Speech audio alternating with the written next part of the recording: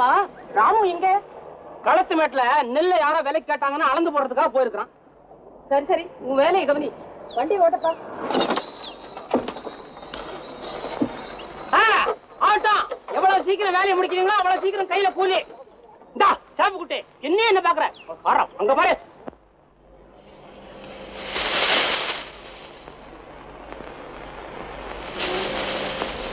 சீக்கிரம் நெல் அளந்து போடுங்கய்யா. நாங்க போகணும். கொஞ்சம் இருங்க. அம்மா வந்துருவாங்க. அவங்கள ஒரு வார்த்தை கேட்டுக்கிட்டு நெல் எடுத்துட்டு போலாம். என்ன தம்பி இது? நாங்க வழக்கமா வர்றவங்களாச்சே நீங்க பக்கத்துல இருந்து அளந்து போட்டிருக்கீங்க. அம்மா என்ன சொல்ல போறாங்க? ஒண்ணும் சொல்ல மாட்டாங்க. எதையும் அவங்கள கேட்காம நான் செஞ்சு பழக்கம் இல்ல கொஞ்சம் இருங்க. வந்துருவாங்க.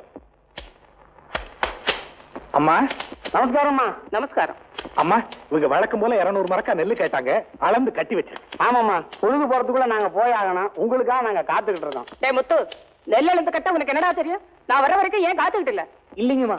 சின்ன எஜமானம் கூட இருக்காருன்னு தான் பாவம் அவன் குழந்தை. அவனுக்கு என்ன தெரியும் இதெல்லாம்? மறுபடியும் என் முன்னாடி கொட்டி எல்லாத்தையும் அழுங்க. ராமு நீ வீட்டுக்கு போ. நாட்டாமக்காரர் வீட்டுக்கு வர சொல்லிருக்க அவரை உட்காந்து வச்சு பேசிக்கிட்டு. இத வந்துடுறேன். சரிம்மா வர்றேங்க. அனுப்பியா என்ன நீங்க வந்து தவறா நினைக்க வேண்டாம். எங்க மிராசு முறைப்படி எதுவும் நடந்தா அதுல எனக்கு ஒரு திருப்தி. சீக்கிரம் ஆகட்டும் நமஸ்காரம்.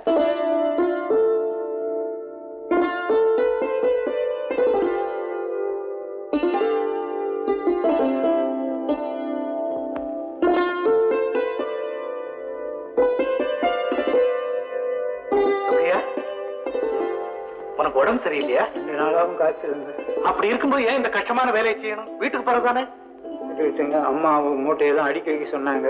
அதுக்காக செய்ய விட்டா திட்டுவாங்க. அம்மா கிட்ட நான் சொல்லிக்கிறேன். நீ வீட்டுக்கு போ.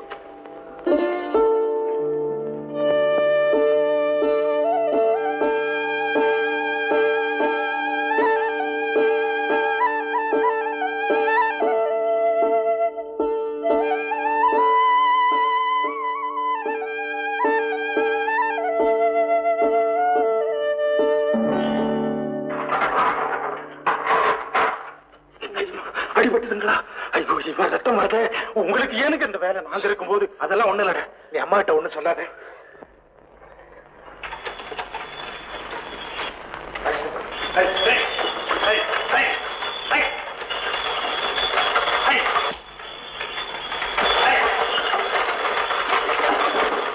ராமு என்னடா அது கையில ஒண்ணு இல்லம்மா ஒண்ணும் இல்லையா ரத்தம் வருது எப்படி அடிபட்டுக்கிட்ட டேய் எல்லாம் நடந்தது நானே சொல்றேம்மா இந்த மூட்டையெல்லாம் எடுத்து அங்க அடுக்கலான்னு ஒரு மூட்டை எடுத்தேன் கையில லேசா அடிபட்டு போச்சு. நல்லா இருக்கடா. இவ்வளவு ஆரங்க இருக்கும்போது நீ ஏன்டா மூட்டையை தூக்கின? டேய் நீங்க இதெல்லாம் பார்த்துட்டா இருந்தீங்க? அவர் அந்த மூட்டையை தூக்கும் போது நாங்க யாருமே இங்க இல்லீங்க. நல்ல புள்ளப்பா நீ. மீனாட்சி? மீனாட்சி? இதோ வந்துட்டம்மா. சீக்கிரம் போய் கொஞ்சம் நாவல் ஜெலியை படிச்சுட்டு வா. பாப்பா உள்ள. ராமு இப்படி எல்லாம் ரத்தம் வரும்படி அடிபட்டுக்கிட்டா என் மனசு எவ்வளவு பாடுபடுது தெரியுமா? இனிமே என்ன கேட்காம எதுவுமே செய்யக்கூடாது. ஆமா இனிமே உங்களை கேட்காம எதுவுமே செய்ய மாட்டேன். என்னை மன்னிச்சிருங்கம்மா.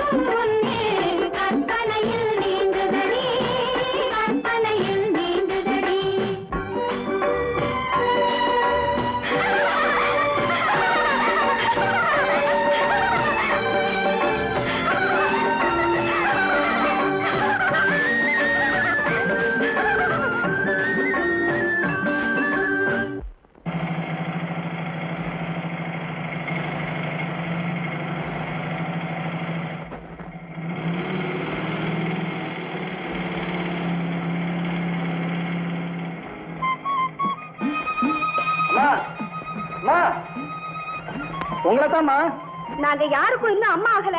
அம்மாவா அம்மா? என்னடி பார்வதி? பின்ன என்னடி? நம்மள பார்த்தா வயசானவங்க மாதிரியா தெரியுது. அம்மான்னு கூப்பிட. குழந்தை மன்னிக்கணும். என்ன தாத்தா? உங்களுக்கு என்ன வேணும்? சொல்லுங்க. அள்ளிக்குளம் போறதுக்கு வழி தெரியணும். எந்த பக்கம் போறதுன்னு சொன்னா? ஒண்ணு செய்யுங்க. கண்ணை மூடிட்டு நேரா போங்க. வழியில ஏதாவது ஒரு குளம் வரும். அதுல அள்ளி இருந்தா அதான் அள்ளிக்குளம்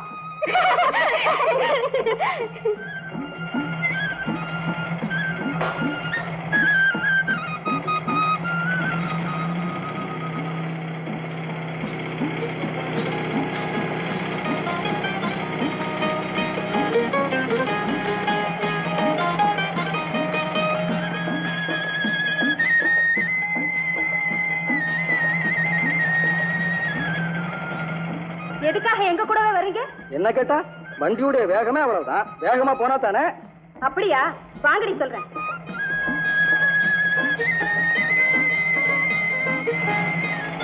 எங்க?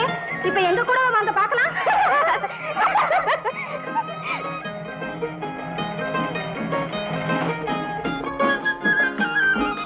பார்வதி.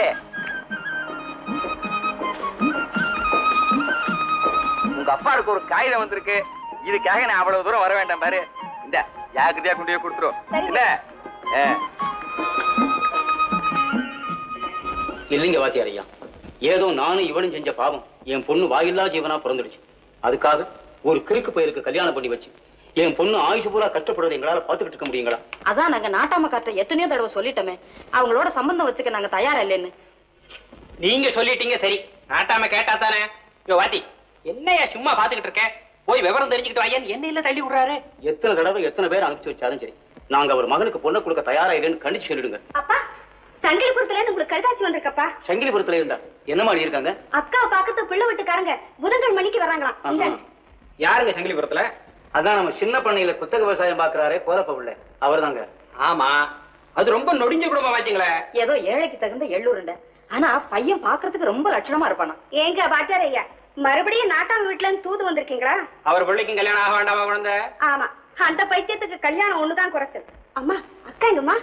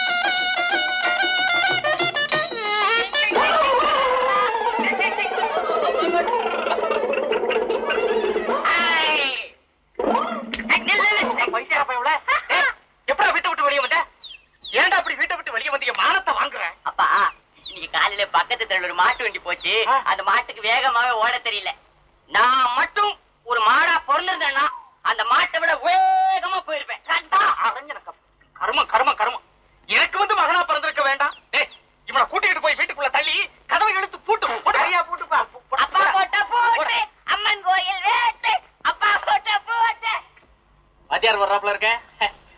வாங்கயா வாத்தி. வாங்க வாங்க வாங்க வாங்க வாங்க. என்ன அனுப்பிச்சனே சிதம்பரம் பிள்ளை என்ன சொன்னாரு? நீ இந்த ஊர்ல நாட்டாமக்காரராச்சே. உனக்கு ரொம்ப செல்வாக்கு இருக்குன்னு சொல்லி உங்க பேச்சை கேட்டு உன் பிள்ளைக்கு தரகு வேலை பண்ண நான் போனா அந்த ஆள் பளிச்சுன்னு ஒரு கேள்வியை கேட்டான். என்ன கேட்டான்? அந்த பைத்தியக்கார பிள்ளைக்கு எவையா பண்ண கொடுப்பான்? நறுக்கு தெரிஞ்ச மாதிரி கேட்டான். அது மட்டுமா? அந்த ஊம பொண்ண பெண்ணு பார்க்க வர்றதாக வெளியூர்ல ஒரு கடிதாசி வந்திருக்கு. அப்ப நான் அங்கதான் இருக்கேன். எப்படி நான் போன முகூர்த்தம்? அந்த ஊம பொண்ணை எவையா கட்டுமா?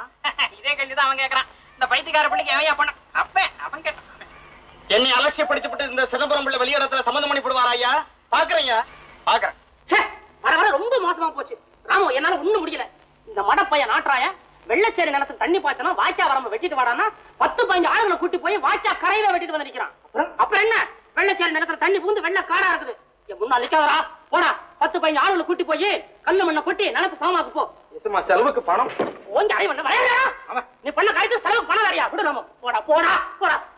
நீ போ. ஒரு மணிக்கு வந்து நான் நேர்ல பாக்குறேன். நல்லது போ ஏண்டா அண்ணாமலை? ஸ்டேஷனுக்கு வண்டி அனுப்பி வச்சியா? அக்கா நான் மறப்பனா? துர விஷயமாச்சே. வண்டி அனுப்பிச்சாச்சு. அவன் இந்நேரம் வந்து இருக்கணுமே எந்த ரயில்ல வர்றானோ தெரியல. அக்கா நம்ம ஊருக்கு வரது ரெண்டு ரயில். ஒரு ரயில் நிக்கிறதே இல்ல. இன்னொன்னு நிக்குது. ஏறறதுக்கு ஆள் இல்ல இறங்குறதுக்கு ஆள் இல்ல. எதுக்கு நிறுத்துவானே? நேரா போயிட்டானோ என்னவோ. அடுத்து நம்ம வண்டி சத்தம் கேக்குதே. துர வர்றானோ? ஏண்டா துறை வரல? இல்லீங்க. சின்னையா அந்த வண்டியில வரலீங்க. யாரா பேச்சு பத்து டேஷன் பூரா நல்லா பாத்தியாடா? அக்கா இவன் பாத்துக்க மாட்டான். இன்ஜின்ல கறி அள்ளி போடுற மாதிரி அதையே வேடிக்கை பார்த்துட்டு இருந்திருப்பான். இல்லடா பாத்துனுங்க. கறி போடுறதையா இல்லீங்க. இன்னைக்கு வண்டியில இருந்து ஒருத்தர் கூட நம்ம ஊர்ல இறங்கலீங்க. அது சரி. இங்க இருந்து போறவங்க யாராவது ஸ்டேஷன்ல இருந்தாங்களா? ஒருத்தர் இருந்திருப்பாரு. கண்டிப்பா எனக்கு தெரியும். நம்ம ஊர் டேஷன் மாஸ்டர் தான். கொடியும் காமிச்சிட்டு அதே வண்டியில ஏறி பக்கத்து ஜங்ஷன்ல சாமான் வாங்க போயிருந்திருப்பாரு. வண்டியரட வண்டியரா அக்கா தோற வரல. காகிதம் வரும். இன்னைக்கு கட்டாயம் வர்றேன்னு லெட்டர் எழுதி போட்டு எப்படி அவன் வராம இருக்கலாம்? அவன் வரட்டும் பேசிக்கிறேன். ஏமா கோச்சுக்கிறீங்க? ஒருவேளை ரயில் தவறி போச்சா என்னவோ? ஏன் தம்பி இப்படி இருக்குமா? எப்படி? தம்பி துரை டிக்கெட் தொலைச்சு விட்டு பாதி வழியில இறக்கி விட்டாங்களா? அப்படி எல்லாம் ஒண்ணு இருக்காது மாமா. என்ன இருந்தாலும் ராமு அவன் உன்ன மாதிரி இல்ல. அவன் ஆரம்பத்திலேயே கட்டிச்சு வைக்கல அவன் கெட்டு குட்டிச்சவரா போயிடுவான். கெடுத்தது யாரு? நீதான் சொல்றேன் வருத்தப்படாத. நம்ம கெடுபடியில இருந்து விடுவிச்சு அவனை படிக்க அனுப்பிச்ச. அவன் என்ன பண்றான்? நம்மள எல்லாம் எப்படி அடக்கி ஆடுறதுன்னு அங்க கத்துட்டு இருக்கான் ஒண்ணும் சரியில்லை. வருத்தப்படாத. உனக்கு ஒரே பையன் தான் துறை பையன் இல்ல. வா. பாத்தியாக்கா தம்பி துறை நான் சொல்லல எப்படி வந்துருவான்னு. ஐயோ என்னது? சொல்லல. என்ன தம்பி ரயில்ல வரதால எழுதிருந்த ஒண்ணு இல்லைண்ணே. புதுசா அந்த மோட்டர் சைக்கிள் வாங்கினேன். எதுக்கு ரயில்ல வருவானேன்னு இதுலயே புறப்பட்டு வந்துட்டேன். ஏமா எல்லாரும் சௌக்கியம் தானே? நாங்க எல்லாம் சௌக்கியம் தான். நீதான் கொஞ்சம் ரொம்ப இல்ல கொஞ்சம் அழைச்சிருக்கிற பட்டணத்துல எங்கெல்லாம் அலைஞ்சியோ பாவம். ஏண்டா துரை இந்த மோட்டார் சைக்கிள் என்ன விலை? நாலாயிரத்தி ஐநூறு ரூபாம்மா. மேற்கொண்டு பையன் கிட்ட காசு இல்ல. இருந்திருந்தா மோட்டார் வண்டியிலேயே வந்து இறங்கிருப்பான் இல்லையாப்பா? யார கேட்டா இவ்வளவு செலவு பண்ணி இதை வாங்கின? செலவு தான் பண்ணிட்டானா? அதை பத்தி என்ன? ஏன்டா வாங்கின நீ? அதுலயே நில்லுக்க. ஏமா இதுல என்ன தப்பு? ஏதோ ஆசைப்பட்டேன் வாங்கிட்டேன். அதுக்காக வாசல்ல ஏன் இந்த பிரச்சனை? ஆஹ், அக்கா என்ன நினைக்குது? மாடு கண்ணு கட்டுற பக்கமாச்சே. இந்த சத்தத்தை கேட்டு மிரள போதேங்குது உண்மையிலையும் தப்பு இல்ல எதுக்கு வாசல்ல உள்ளே போயிருவான் வா தம்பி. போப்பா, போப்பா. வர வர உனக்கு பெரியவங்க இருக்காங்களேங்கிற எண்ணமே இல்லாம போச்சு. ஏமா இப்படி வந்தது வராதமா கோச்சுக்கிறீங்க? இப்ப என்ன நடந்து போச்சு? எவ்வளவோ செலவு பண்ற கூட ஒரு பத்து பைசா. எம்மா பலானது பலானது வாங்க போறேன். என்ன சொல்ற? அப்படின்னு லெட்டர்ல ஒரு வரி. அக்கா அவனை சொல்லி குத்தம் இல்ல நிறைய படிக்கிறான். நேரம் இல்லையோ என்னமோ பாவம். என்ன தம்பி பரீட்சை எல்லாம் நல்லா எழுதிருக்கியா கண்டிப்பா தேடுவேண்ணே தேராட்டிதான் என்ன? நமக்கு என்ன குறைச்சல்? இல்லக்கா.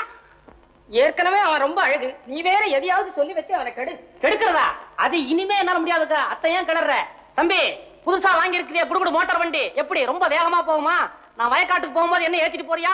ஆமா அது வயக்காட்டுல போகாது. நல்ல ரோட்ல தான் போவோம். ஏக்கா தம்பி வயக்காட்டுக்கு போக வர நீ ரோடு வேற போட்டு கொடுக்கணும். பாவம் உனக்கு தான் செலவு. ஏமாமா அம்மா கூட சேர்ந்துக்கிட்டு தாளம் போடுற புத்தி.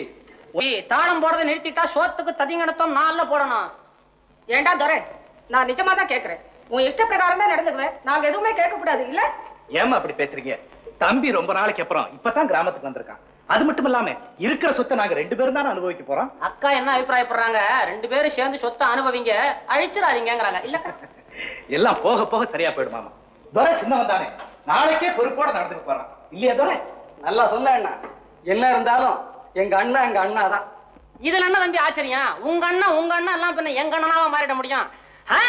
அண்ணன் தம்பின்னு ஒண்ணு கவனம் வருதே? சுமார் எட்டு வருஷத்துக்கு முன்னால இந்த கரையாஞ்சாவடிக்கு பக்கத்துல மூப்பனார் கோப்பனார்னு ரெண்டு பேர் அவங்க தகப்பனார். ஐயோ இத்தனை நாளா மாட்டிக்காம இருந்தேன். இப்ப மறுபடியும் பழைய கதை ஆரம்பிச்சாச்சுல்ல? இனி அவ்வளவுதான் ரெண்டு வாட்டி கேட்டா அண்ணா அண்ணா உனக்காக ஒரு பியூட்டிஃபுல் பிரசன்ட் வாங்கிட்டு வந்திருக்கேன். எங்க? கையை காட்டு. லவ்லி அண்ணா உன் கைக்கு இந்த ரெஸ்ட் வாட்ச் ரொம்ப பிரமாதமா இருக்கு. என்ன செலவோ? மாமா. இல்ல வாட்ச் நல்லா இருக்குதே என்ன விலைன்னு கேட்டேன். கொஞ்சம் சும்மா இருக்க மாட்டீங்களா? எனக்கு ஏன் தம்பி இதெல்லாம்? என்னன்னா அது? நான் எவ்வளவு ஆசையோட வாங்கிட்டு வந்திருக்கேன். அம்மா தம்பி எனக்காக வாங்கிட்டு வந்தது. நல்லா இருக்கா? ரொம்ப நல்லா இருக்கு ராமு. தம்பி செலவோட செலவா எனக்கு எதனாச்சும் வாங்கிட்டு வந்தியா? உங்களுக்கு தானே? உங்க தொல்லை அதிகமா போனதுனால ஒரு துப்பாக்கி வாங்கிட்டு வந்திருக்கேன்.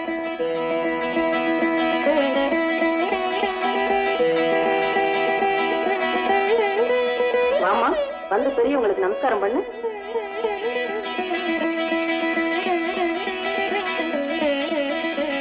ஏங்க இது அவங்க பெரிய பொண்ணு? ஆமாங்க. அவ என் சின்ன பொண்ணு. ஏமா சமையல் வேலையெல்லாம் நல்லா செய்வியா ஏமா உனக்கு எழுத படிக்க வருமா? இல்லைங்க அவளுக்கு படிக்க வராது. ஐய இந்த காலத்துல நாலு எழுத்து படிக்க தெரிய வேண்டாமா? ஏமா உங்க அப்பா அம்மா உனக்கு படிப்பு சொல்லி தரலையா? இல்ல நீயே படிப்பு எதுக்குன்னு இருந்துட்டியா? வாயை திறந்து பதில் சொல்லுமா? நீ என்ன ஊமையா? என்னங்க இது? மன்னிக்க அவ உண்மையிலே பிறவி ஊமதாங்க. என்னது உங்ககிட்ட முதல்ல தெரிவிக்காத என் குத்தம் நேர்ல பொண்ணு வந்து பார்த்தா அந்த குறையை நீங்க மறந்துருவீங்கன்னு தான் நினைச்சேன். என்னையா? எங்களை என்ன முட்டாளுன்னு நினைச்சியா? ஊமை பண்ண மருமகளா ஏத்துக்கிறதுக்கு நாங்க ஒண்ணு கதி கட்டு இங்க வரல. மோசடி செஞ்சு எங்களை ஏற்றுப்படலாம்னு பாத்தீங்களா? அப்படிவா உங்களுக்கு மாய முடியா? பெரிய மனுஷன் மாதிரி பேசி நிக்கிறேன். கமலா எழுந்துரு. பொண்ணை பார்த்த லட்சம் போதும். புறப்படு. நல்ல காலம். மூடி மறைச்சு இந்த மூடியை நம்ம தலையில கட்டாம விட்டாங்கல்ல மாரியாத்தா தான் நம்மளை காப்பாத்திருக்கா வாங்க போகலாம். Thank you.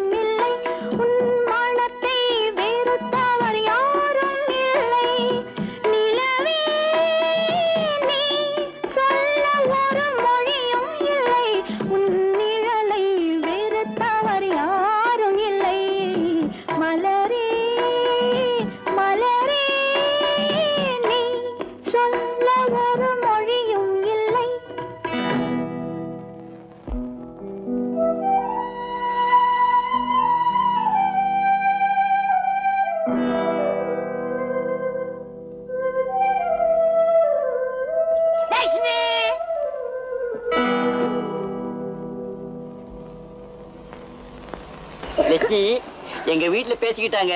எனக்கு உனக்கு கல்யாணமா. நீ ரொம்ப அழகா இருக்க நான் உன்னோட ரொம்ப அழகா இருக்கேனா. நமக்கு கல்யாணம் பண்ணிக்க சீ பைத்தியம். சீ, நீதான் பைத்தியம்? நான் என் பொண்டாட்டிட்ட போயிட்டு உனக்கு என்ன வந்தது? போ. லட்சுமி நான் உன் புருஷன் தானே. லட்சுமி இதை அடிச்சுட்டல எங்க அப்பாட்ட சொல்லி உன்னை என்ன செய்ய பாரு. நீ அடிச்சுட்டல அப்பாட்ட சொல்லி உன்னை என்ன செய்ய பாரு. அடிச்சுட்டல நீ. எங்க அப்பாட்ட சொல்லி உன்னை என்ன செய்ய பாரு. அப்பா!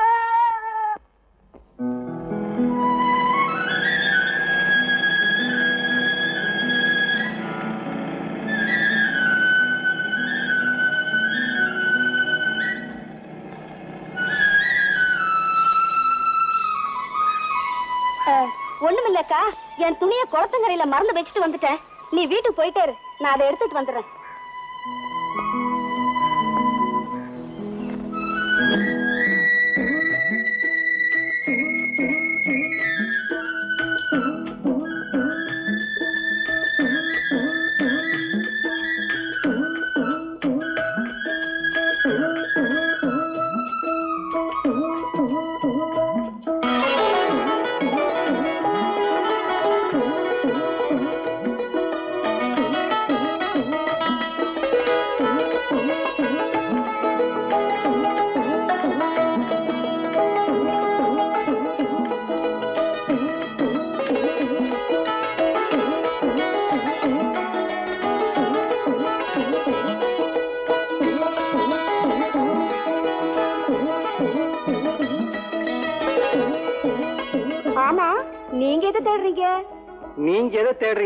தான் நானும் தேடிட்டு இருக்கேன். நான் எதை தேடுறேன்னு உங்களுக்கு எப்படி தெரியும்? தேடி பாக்குறப்ப ஏதாவது கிடைச்சா அதை எடுத்து உங்ககிட்ட கொடுத்து உங்ககிட்ட நல்ல பேர் வாங்கலாம்னு பாக்குறேன் என்கிட்ட எதுக்காக நல்ல பேர் வாங்கணும்? அழகான பெண்கள் கிட்ட நல்ல பேர் எடுக்கத்தானே? எல்லா வாலிபர்களும் துடிப்பாங்க. அதனால உங்களுக்கு என்ன லாபம்? ஆரம்பத்திலேயே லாபத்தை எதிர்பார்த்தா முடியுங்களா? தேடுங்க தேடுங்க. நான் தேடுறது கிடைக்காதுன்னு நினைக்கிறேன். முயற்சி செய்தா கிடைக்கும்னு நினைக்கிறேன். உங்களுக்கா? எனக்கா? ரெண்டு பேருக்கும் தான். பரவாயில்லையே. நீங்க ரொம்ப கிண்டலா பேசுறீங்களே? அன்னைக்கு நீங்க ரொம்ப கோவமா பேசுனீங்களே? பேசுன தவிர அப்புறம் நினைச்சு ரொம்ப வேதனைப்பட்டேன். உண்மையா சொல்லுங்க. அன்னைக்கு நீங்க என்ன தவறாதானே நினைச்சீங்க? தவறா நினைச்சிருந்தா மறுபடியும் உங்களை இங்க பார்க்க வருவனா? நிஜமாவா? நீங்க என்ன பார்க்க தான் வந்தீங்களா? மனசுல இருக்கிறத மறைக்கிறதுக்கு எனக்கு தெரியாது. நீங்க எப்படியோ?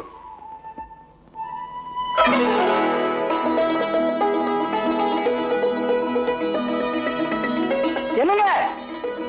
என் பேர் என்னக்கா இல்ல? பார்வதி. மழை வர போது சீக்கிரம் வீட்டுக்கு போங்க. நினைச்சு போயிடுவீங்க.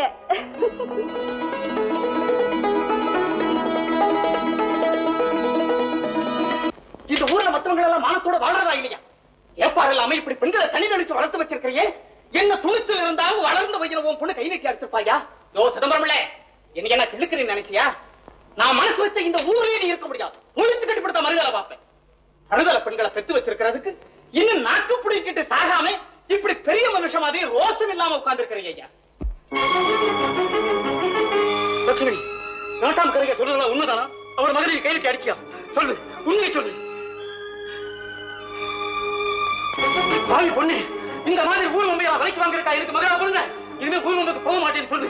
சொல்லு சொல்லு. ஊர் உண்மைக்கு போகாதே போகிறேன்னு சொல்லு. அப்பா நிறுத்துங்க. ஏன் அக்கா அடிக்கிறீங்க? அவளை நீங்க பார்வதி நீ உள்ள போ. உங்க ரெண்டு பேராரை ஊரார்கிட்ட கேட்கிற ஏச்சு பேச்சு போதும் எனக்கு. போகல முடியாது போக முடியாது. அக்கா அடிச்சதுக்கு என்ன காரணம்னு முதல்ல சொல்லுங்க. நாட்டாமக்கார மகனே ஒரு வயசுக்கு வந்த பொண்ணு தொட்டு அடிச்சாலாது செய்யலாம் அப்படி. அடிச்சது உண்மைதான். காரணமா தான். அக்கா அங்க என்ன நடந்ததுன்னு நீ சொல்லி இருக்க கூடாது? பாத்தீங்களாப்பா? அங்க நடந்த அக்கிரமத்தை அவளால சொல்ல முடியல. சொல்ல சக்தி இல்லை ஊமையா பிறந்த பாவத்துக்கா? அவ இப்ப இந்த தண்டனை அனுபவிக்கிறா இப்படி நாலு தடவை ஆம்பளையோட சரிசமானமா நடுத்தருவில் நின்னு சண்டை போட்டா உங்க அக்காவுக்கு ஊராரே சரியான தண்டனை கொடுத்துடுவாங்க. போதும் நிறுத்துங்க. வழியில போற பெண்களை மடக்கி சேலையை பிடிச்சு இழுத்து சிறையை பிடிச்சு இழுத்து வம்பு செய்யறா எங்களால எத்தனை நாளைக்கு தான் பொறுத்துக்கிட்டு இருக்க முடியும்? அவன் தப்பு செய்யறா எங்க கிட்ட வந்து சொல்றது? வீட்டுக்கு பெரியவங்க நாங்க இல்ல? ஆமா பெரியவங்க. நீங்களே இதெல்லாம் தூண்டி விட்டுட்டு இப்ப நியாயம் கேட்க வந்துட்டீங்களா? என் பொண்ணு நிதானிச்சு பேசு. அவன் இதெல்லாம் புத்தி தெரிஞ்சா செய்யறான் அவன் தான் கிராக்கு பிள்ளைங்கிறது எல்லாருக்கும் தெரியுமே. உங்களுக்கும் தெரியுமில்ல? அவனை வீட்டுல வச்சு பூட்டி வைக்கிறது. அனாவசியமா வெளியில வந்து குறுக்கு செஞ்சா இதுவும் நடக்கும் இன்னமும் நடக்கும். என்னம்மா பேச்சு நீளுது? போத நிறுத்துங்க. முதல்ல வெளியில போங்க. போய் சிதம்பரம். தயவு செஞ்சு வெளியே போயிடுங்க. போயிடுங்க. போறேன்யா. போறேன். உன் பொங்கலை நீ கண்டிச்சு வைக்கல? விவகாரம் உன் வீட்டு வரைக்கும் வராது. ஞாபகம் வச்சுக்க.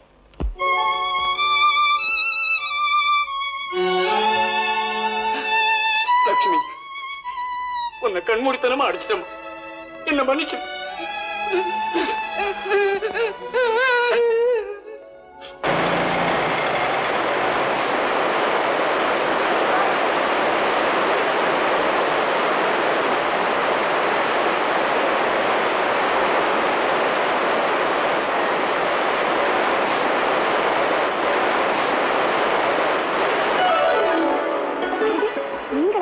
அடடே இது உங்க ஊடா ஐயோ மழையில இப்படி சுத்தமா நனைஞ்சு போயிட்டீங்க ஐயோ இப்படி பேசாம பாத்துக்கிட்டே நிக்கிறீங்களே. இப்ப என்ன செய்யறது உங்களை உள்ள கூப்பிட்டா அப்பா அம்மா எல்லாம் தப்பா நினைக்க மாட்டாங்களா? தயவுசெய்து போயிடுங்க என்னது? மழைக்கு பயந்து ஒண்ட வந்தா இப்படித்தான் விரட்டாதா? நான் போக மாட்டேன். உங்களை பார்த்தா பரிதாபமா இருக்கு. உள்ள கூப்பிடுறதுக்கும் பயமா இருக்கு. எனக்கு ஒண்ணுமே புரியலையே. எனக்கு கூட தான் ஒண்ணும் புரியல. ஒண்ணு செய். நேரம் உங்க அப்பா கிட்ட போய் அப்பாப்பா யாரோ தெரியலப்பா. மழைக்கு பயந்து வாசல்ல வந்து நிக்கிறா ஆஹா நிக்கிறா சரி சரி நிக்கிறாரு அப்படின்னு சொல்லி சீக்கிரமா வர சொல்ல அடாடாடா நீங்க நிக்கிற ம், ஆ.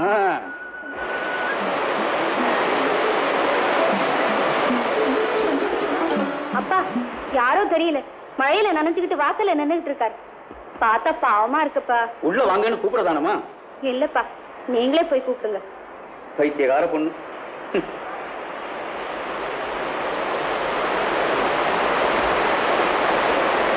அடே என்ன இப்படி மழையை நனைஞ்சுக்கிட்டு நிக்கிறீங்க? உள்ள வாங்க. இல்லைங்க பரவாயில்லைங்க. கூச்சப்படாம வாங்க. என்ன யோசிக்கிறீங்க? சும்மா உள்ள வாங்க. வாங்க. என்ன இப்படி உடம்பெல்லாம் ஒரேடியா நனைஞ்சு போச்சே? மழை இல்ல. நம்ம வீடு மாதிரி நினைச்சுக்கங்க. ஆமா. பார்வதி தவளை ஓடிக்க துண்ணு கொண்டாந்து கூடமா வேண்டாங்க. உங்களுக்கு என்னத்துக்கு வீண் சிரமம்? பரவாயில்லைங்க. உட்கார் வாங்க. வாங்க. ஆமா நமக்கு எந்த ஊர் பக்கம்? அள்ளிக்குளம் அள்ளிக்குளத்துல நீங்க யார் வீடு? பெரியமரா சார் சுப்பியா பிள்ளைன்னு கேள்விப்பட்டது ஆமா. அவர் மகன். அடே நம்ம சுப்பியா உள்ள மகன் தானே நீங்க? அவர் நமக்கு ரொம்ப வேண்டியவராச்சுங்களே மரகதா மரகதா. என்னங்க? தம்பி யார் தெரியுமில்ல? தெரியலையே. நம்ம அள்ளிக்குளம் பெரிய மராதா சுப்பியா உள்ள இல்ல. அவங்க புள்ளதான் அப்படியா? என்ன தம்பி ஒரேடியா நனைஞ்சு போயிருக்கீங்க? ஒண்ணும் இல்லைங்க. இந்த பக்கத்து கிராமங்களை எல்லாம் பார்க்கலான்னுட்டு மோட்டார் சைக்கிள்ல வந்தேன். திடீர்னு மழை பிடிச்சி அடடே தாகத்துக்கு ஏதாவது சாப்பிடுறீங்களா? பரவாயில்லைங்க ஒண்ணு வேண்டாம். ஏன் தம்பி? அப்பா தவறி போய் இப்ப ஆறு ஏழு வருஷம் இருக்காது? சரியா ஆறு வருஷம் ஆகுதுங்க. ஆஹா. ஆமா ராசு நிர்வாகம் எல்லாம் இப்ப நீங்க தான் பாத்துக்கிட்டு வர்றீங்களா? இல்லைங்க நான் காலேஜ்ல படிச்சுக்கிட்டு இருக்கேன். அண்ணன் அம்மாவும் தான் இப்ப எல்லாத்தையும் பாத்துக்கிறாங்க அப்படியா? ஏன் தம்பி உங்களுக்கு இன்னும் கல்யாணம் ஆகலைங்க. எனக்கு தெரிஞ்ச வரைக்கும் இந்த சுத்து வட்டாரத்துல அள்ளிக்குளம் ராசோடு சம்பந்தம் செய்துக்கிற தகுதி எந்த குடும்பத்துக்கு இருக்கிறதா தெரியல. உங்க அந்தஸ்துக்கு தக்கபடி பொண்ணு எடுக்கணும்னா வெளியில தான் நீங்க கொடுக்கல் வாங்கல் வச்சுக்கணும். இல்லைங்களா தம்பி? அப்படியெல்லாம் ஒண்ணும் இல்லைங்க. நல்ல குடும்பமா இருந்து அழகும் குணமும் உள்ள பொண்ணா கிடைச்சா அவங்க ஏழையா இருந்தா கூட பரவாயில்ல. நாங்க சம்பந்தம் செய்துக்குவோம் நீங்க சொல்லிடலாம் தம்பி. இந்த காலத்து பிள்ளை பெரியவங்க அந்தஸ்து சம்பிரதாயத்தையும் விட்டுருவாங்களா? பணத்தை பொறுத்து தான் அந்தஸ்துங்கிறதுல எனக்கு நம்பிக்கை இல்லைங்க. என்ன பொறுத்த வரையில எனக்கு எது சரின்னு படுதோ எனக்கு எது விருப்பமோ அதைத்தாங்க நான் செய்வேன். இப்ப அப்படி சொல்லிடலாம் தம்பி. நாளைக்கு எல்லாம் நெருங்கி வர்றப்போ பெத்தவங்க பெரியவங்க சொல்ல தட்டி நடக்க முடியுமா என்ன? பெத்தவங்க சொல்லுக்கு கட்டுப்படணுங்கிறதும் மரியாதை கொடுக்கணுங்கிறதும் நியாயம்தாங்க. ஆனா கல்யாணங்கிற பிரச்சனை வரும்போது எங்க சம்மதமும் முக்கியம் இல்லைங்களா? பெரிய படிப்பு படிச்சாலே இப்படித்தான் தம்பி பேச தோணும். ஆனா கிராமத்து பழக்க வழக்கங்களை எல்லாம் அவ்வளவு சுலபமா மாத்திர முடியுமா என்ன? முடியாம என்னங்க? இன்னும் கொஞ்ச நாள்ல பாருங்களேன். எல்லாமே மாறி போயிடும். அடடே! மழை விட்டு போச்சு போல இருக்கு. இன்னும் தூரிக்கிட்டு தானே இருக்குங்க. சுத்தமா மழையில நனைஞ்சாச்சு. இனிமே இந்த தூறலுக்கு பயந்தா முடியுமா? நான் வர்றேங்க. முத முதல்ல நம்ம வீட்டுக்கு வந்துட்டு ஒண்ணுமே சாப்பிடாம போறீங்களே. பரவாயில்லைங்க. இன்னொரு முறை இந்த பக்கம் வரும்போது இங்க தங்கி விருந்தே சாப்பிட்டு போறேன். இந்த பக்கம் வந்தா கட்டாயம் நம்ம வீட்டுக்கு வந்துட்டு போகணும். ஆகட்டுங்க. வீட்டுல எல்லாரையும் விசாரிச்சதா சொல்லுங்க தம்பி. நல்லதும்மா. நான் வர்றேன். வர்றேன்.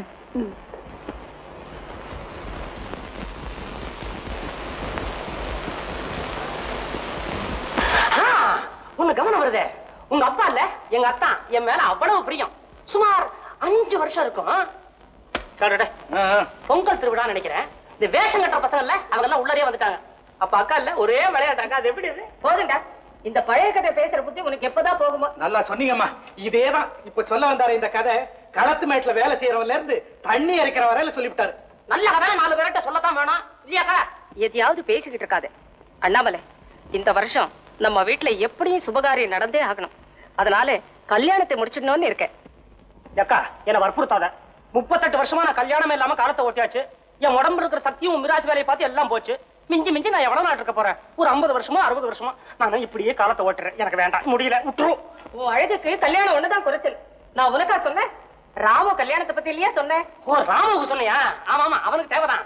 என்னடா ராஜா பையல என்ன மாதிரி பொண்ணு வேணும்? படிச்ச பொண்ணா? பணக்கார பொண்ணா?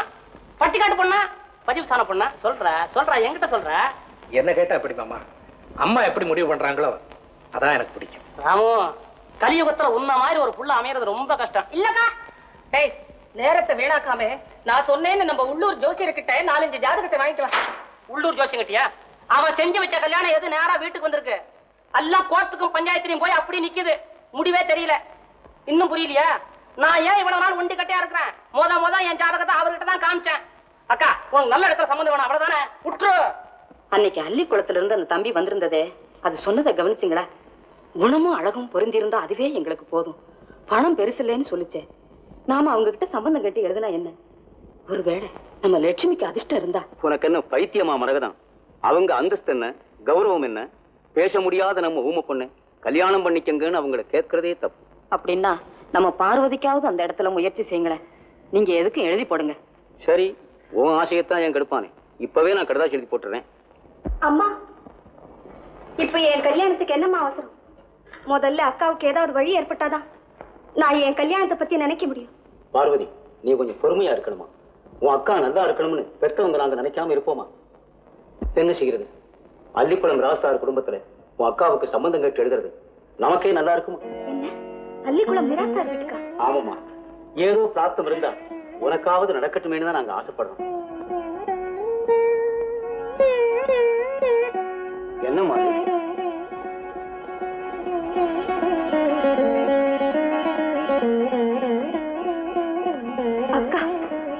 கல்யாணத்துக்கு அப்புறம் தான் நான் கல்யாணமே செய்துக்க போறேன்.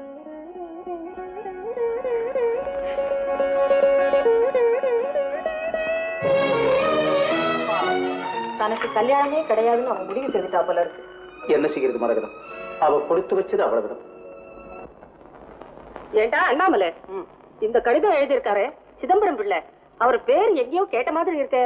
எங்கேயும் கேட்கல இப்ப என்ன கேட்டுட்டு இருக்கிறேன் சிதம்பரம் இல்ல யார் தெரியுமா? ஏக்கா வாஜராஜபுரம் எட்டு வீட்டுக்காரங்கன்னு சொல்லுவாங்க இவங்கள. இந்த எட்டு வீட்டுல ஆறு வீட்டுக்காரங்க நிலத்தை நம்ம அத்தான் தான் வாங்கி போண்டி ஆக்கிட்டாரு. அந்த ஆறு வீட்டுல மாட்ட வந்தா சிதம்பரம் பிள்ளை. பத்திரம் நாள் எழுதின மறப்பனா எதையாவது உளராத பொண்ணு பாக்குறதுக்கு ரொம்ப லட்சணமா தான் இருக்கா? இந்த பொண்ணு இந்த வம்சமே ரொம்ப அழகான வம்சமாச்சே. மொத்தத்துல அந்த வட்டாரத்துல இருக்கிற எல்லா பொம்பளையும் எனக்கு நல்லா தெரியும். பொம்பளை என்னன்னு கவனம் வருதே. அதே ஊர்ல ராஜபாரவ ரங்கநாயகன் ஒரு பொம்பளை. எட்டு வருஷத்துக்கு முன்னாடி என்னாச்சு? ஐயோ போதுமே. ராமு. உன்கிட்ட ஒரு முக்கியமான சமாச்சாரம் பேசணும். என்னம்மா? ஒண்ணு இல்ல. உன் கல்யாண விஷயமா சம்பந்தம் கேட்டு ஒரு லெட்டர் வந்திருக்கு. உன் விருப்பம் என்னன்னு தெரிஞ்சுக்கணும்னு தான் கூப்பிட்டேன். ஆமாண்டா ராமா உனக்கு கல்யாணத்துக்கு வேலை வந்துருச்சு. ஏக்கா அந்த போட்டோ கூட. அவ கண்ணு ஒண்ணு போதுமே உன்னை மயக்கிறதுக்கு எப்படி பொண்ணு? என்ன ஏமாமா கேக்குறீங்க? அம்மா எப்படி சொல்றாங்களோ அப்படியே செய்யுங்க. இருந்தாலும் கல்யாணம் செஞ்சு போறவன் நீதானே? பெண்ணு உனக்கு பிடிச்சிருக்கான்னு எங்களுக்கு தெரிய வேண்டாம். அப்படி கேளுக்கா ராமு இது புரியலையா? பாரு போட்டோவையா பார்த்து பல்ல அடிச்சிட்டு இருக்கோம். அவருக்கு பிடிச்சு போச்சு. அடுத்தது என்னக்கா ராமு இவங்களுக்கு ஆஸ்தி அதிகமா இல்லாத போனாலும் நல்லவங்களா இருப்பாங்க இருக்கு. பெண்ணை எனக்கு ரொம்ப பிடிச்சிருக்கு. உனக்கு பிடிச்சு போச்சுன்னா அப்புறம் அப்பில இருக்கா? பொண்ணு எனக்கே ரொம்ப பிடிச்சிருக்கு. அக்கா இந்த பொண்ணு லட்சுமி மாதிரி இல்ல சரஸ்வதி மாதிரி இல்ல நடுவுல நிக்கிறா. பட்ட பட்டம் காரியத்தை முடிச்சிருக்க. ராமு இந்த பெண்ணையே முடிச்சிட்டுமா? நான் தான் ஏற்கனவே சொல்லிட்டேனம்மா உங்க விருப்பம் எப்படியோ அப்படியே பலேடா ராஜா பயலே ராஜா பயலே. ஏன் அண்ணாமலை? நம்ம அந்தஸ்துக்கு தகுந்த மாதிரி கல்யாண ஏற்பாடெல்லாம் நல்ல விதமா செய்வாங்களா? இத பாருங்க. நம்ம கூட்டத்துக்கு தீனி போடுறதுக்கு ஒரு சமஸ்தான ராஜாவால கூட முடியாது. அவங்க ஏழப்பட்டவங்க தான் நம்ம தான் சரி கட்டிட்டு போகணும். கவனம் இருக்கா? உனக்கும் அத்தானுக்கும் கல்யாணம் நடக்கும்போது எனக்கு வயசு அஞ்சு. அப்ப நம்ம கிட்ட மாத்திரம் காசு இருந்ததா? கல்யாணத்துல நாதஸ்வரம் ஊதுனானே அவனுக்கே பணம் பாக்கி. இவ்வளவு ஏன்? ரெண்டாவது பந்திக்கு எனக்கே சோறு கிடையாது. அப்படித்தான் இருக்கும் இந்த வீட்டுல உன்னை இருக்க வச்சேன் பாரு. அது என் தப்புட. அதை பத்தி இப்ப யோசிச்சு என்ன பிரயோஜனம்? இந்த பாருக்க அத்தை விடு. நான் என்ன பண்றேன்? நாளைக்கே பொண்ணு நேரா பார்த்து ஆ? நல்லா இருக்கான்னு பார்த்துட்டு சிதம்பரம் பிள்ளை கையில வெத்தலை பாக்க துணிச்சிட்டு கல்யாணம் பேசி பேசி முடிச்சுட்டு வந்துருவேன் சுபசி சீக்கிரமா நாளைக்கே போய் நல்ல விதமா முடிச்சிட்டு வா. சரி செலவுக்கு கொஞ்சம் தாராளமா காசு கொடு. என்னது? எனக்கா கேக்குறேன் நொடிஞ்சு போனவன் சம்பந்தின்னு சொன்னேனே. என்னமாமா என்ன ரகலை பண்ணிட்டு இருக்கீங்க? வாங்குற அண்ணனுக்கு அப்புறம் தான் நம்ம கல்யாணம் ஏங்கிட்டு இருந்தியே. கவலையை விடு அண்ணனுக்கு கல்யாணமே முடிஞ்ச மாதிரி தான். என்னது? அண்ணனை கல்யாணமா? வெரி குட் ஆமா நாளைக்கு இந்த அண்ணா அவனை போக போறான். கல்யாண பேச்ச பேசி முடிச்சுட்டு வர போறானே. ஆமா துரை இவதான் உனக்கு அண்ணியா வர போறவா எப்ப? ஏன் கல்யாணத்துக்கு எனக்கு ராசி இல்லையே தவிர மத்தவங்க கல்யாணம்னா சொல்லு நான் தான் பக்கத்துல நிப்பேன் செஞ்சு வைப்பேன். ஆமா. கல்யாண பொண்ணு? ஆஹா கல்யாணம் பண்ணிதானா பலே பலே பலே பலே பலே நமஸ்காரம் பண்ணுவோமா? வாமா வெளில வா. வா வா. ம். ஏதோ ரெண்டு மூணு பெத்துக்கிட்டு சௌக்கியமா நல்லா இருமா என்ன பேரோ? சொல்லுமா? சொல்லு. பார்வதி. பார்வதி பள்ளிக்கூட பக்கம் போனவுண்டா எனக்கு எழுத படிக்க வரும் இவர்கிட்ட கத்துக்கிறீங்க நானே தான் கத்துக்கிட்டேங்க. பலே பட்டி காட்டு பொண்ணாலும் பட்டு பட்டுன்னு பதில் பேசுறிய பொழைச்சுக்குவேன் அட அதான் அந்த பொண்ணு. அவளும் என் மகதான். கல்யாணம் ஆயிடுச்சா? இன்னும் இல்லைங்க. அவளுக்கு ஒரு நல்ல இடமா பாத்துக்கிட்டு தான் இருக்கும். ஏதோ நல்லபடியா முடிஞ்சா ரெண்டு கல்யாணத்தையும் ஒரே பந்தல்ல வச்சுக்குவான். சிதம்பரம் நான் பாத்துட்டேன் இந்த மாசம் பதினாலாம் தேதி நல்ல முகூர்த்த நாள் அன்னைக்கே வச்சுக்குவான். நீங்க எப்படி செய்தாலும் எனக்கு சம்மதம்ங்க. வாங்க. ஏதோ கூப்பிட்டு நானே ஆமா. அப்படி பாருங்க சிதம்பரம் உள்ள எல்லாம் உங்க வீட்டு கல்யாண பிரச்சனை தான். உங்க மூத்த பொண்ணை விட்டுட்டு ரெண்டாவது பொண்ணுக்கு மாத்திரம் கல்யாணம் செய்யறத ஊர்க்காரங்க விரும்பல. இந்த கல்யாணத்தை நடத்த விடக்கூடாதுன்னு ஊர்ல இருக்கிறவங்க சொல்றாங்க. நாங்களும் அதை அனுமதிக்கிறதாக இல்ல. ஊர் கட்டுப்பாடுன்னு ஒண்ணு இருக்குல்ல சிதம்பரம் இல்ல பெரியவங்க எல்லாம் இப்படி அவசரப்பட்டு ஒரு முடிவு வரப்படாது ஏதோ கௌரவமான இடத்துல சம்மதம் செய்யறதுக்கு எல்லா ஏற்பாடும் முடிவு செஞ்சுட்டேன். இந்த சமயத்துல கூப்பிட்டு இப்படி சொன்னீங்கன்னா நான் என்னங்க செய்யறது? எல்லாம் நாங்களும் முடிவு செஞ்சாச்சு. எங்களை மீறி இந்த கல்யாணம் நடத்த நீங்க முயற்சி செய்றீங்கன்னா அதனுடைய விளைவு பயங்கரமா இருக்கும். அவ்வளவுதான் சொல்லுவேன். சிதம்பரம் நீங்களும் கொஞ்சம் ஊரோட ஒத்து போகணும். நாட்டாமக்காரர் அவர் மகனுக்கு உங்க பொண்ணு கட்டிக்க தயாரா இருக்க. அவர் பையனுக்கு ஏதோ சித்திரசுவாதிங்கிற ஒரு குறைந்தா உங்க பொண்ணு பேச முடியாத ஊர். ஏன் தயக்கம்? விவகாரத்தை வளர்க்காம பேசாம அவரோட சம்பந்தத்தை வச்சுக்கிட்டு ரெண்டு கல்யாணத்தை ஒண்ணா நடத்துருங்க. எங்களுக்கு ஆட்சேபனே கிடையாது. சிதம்பரம் இல்ல. இதுக்கு நீங்க சம்மதிக்கல. நாங்க எல்லாம் உங்களுக்கு விரோதிகளா நிப்போம் அப்ப இந்த கிராமத்துல நீங்க தலை தூக்க முடியாது. அவ்வளவுதான்.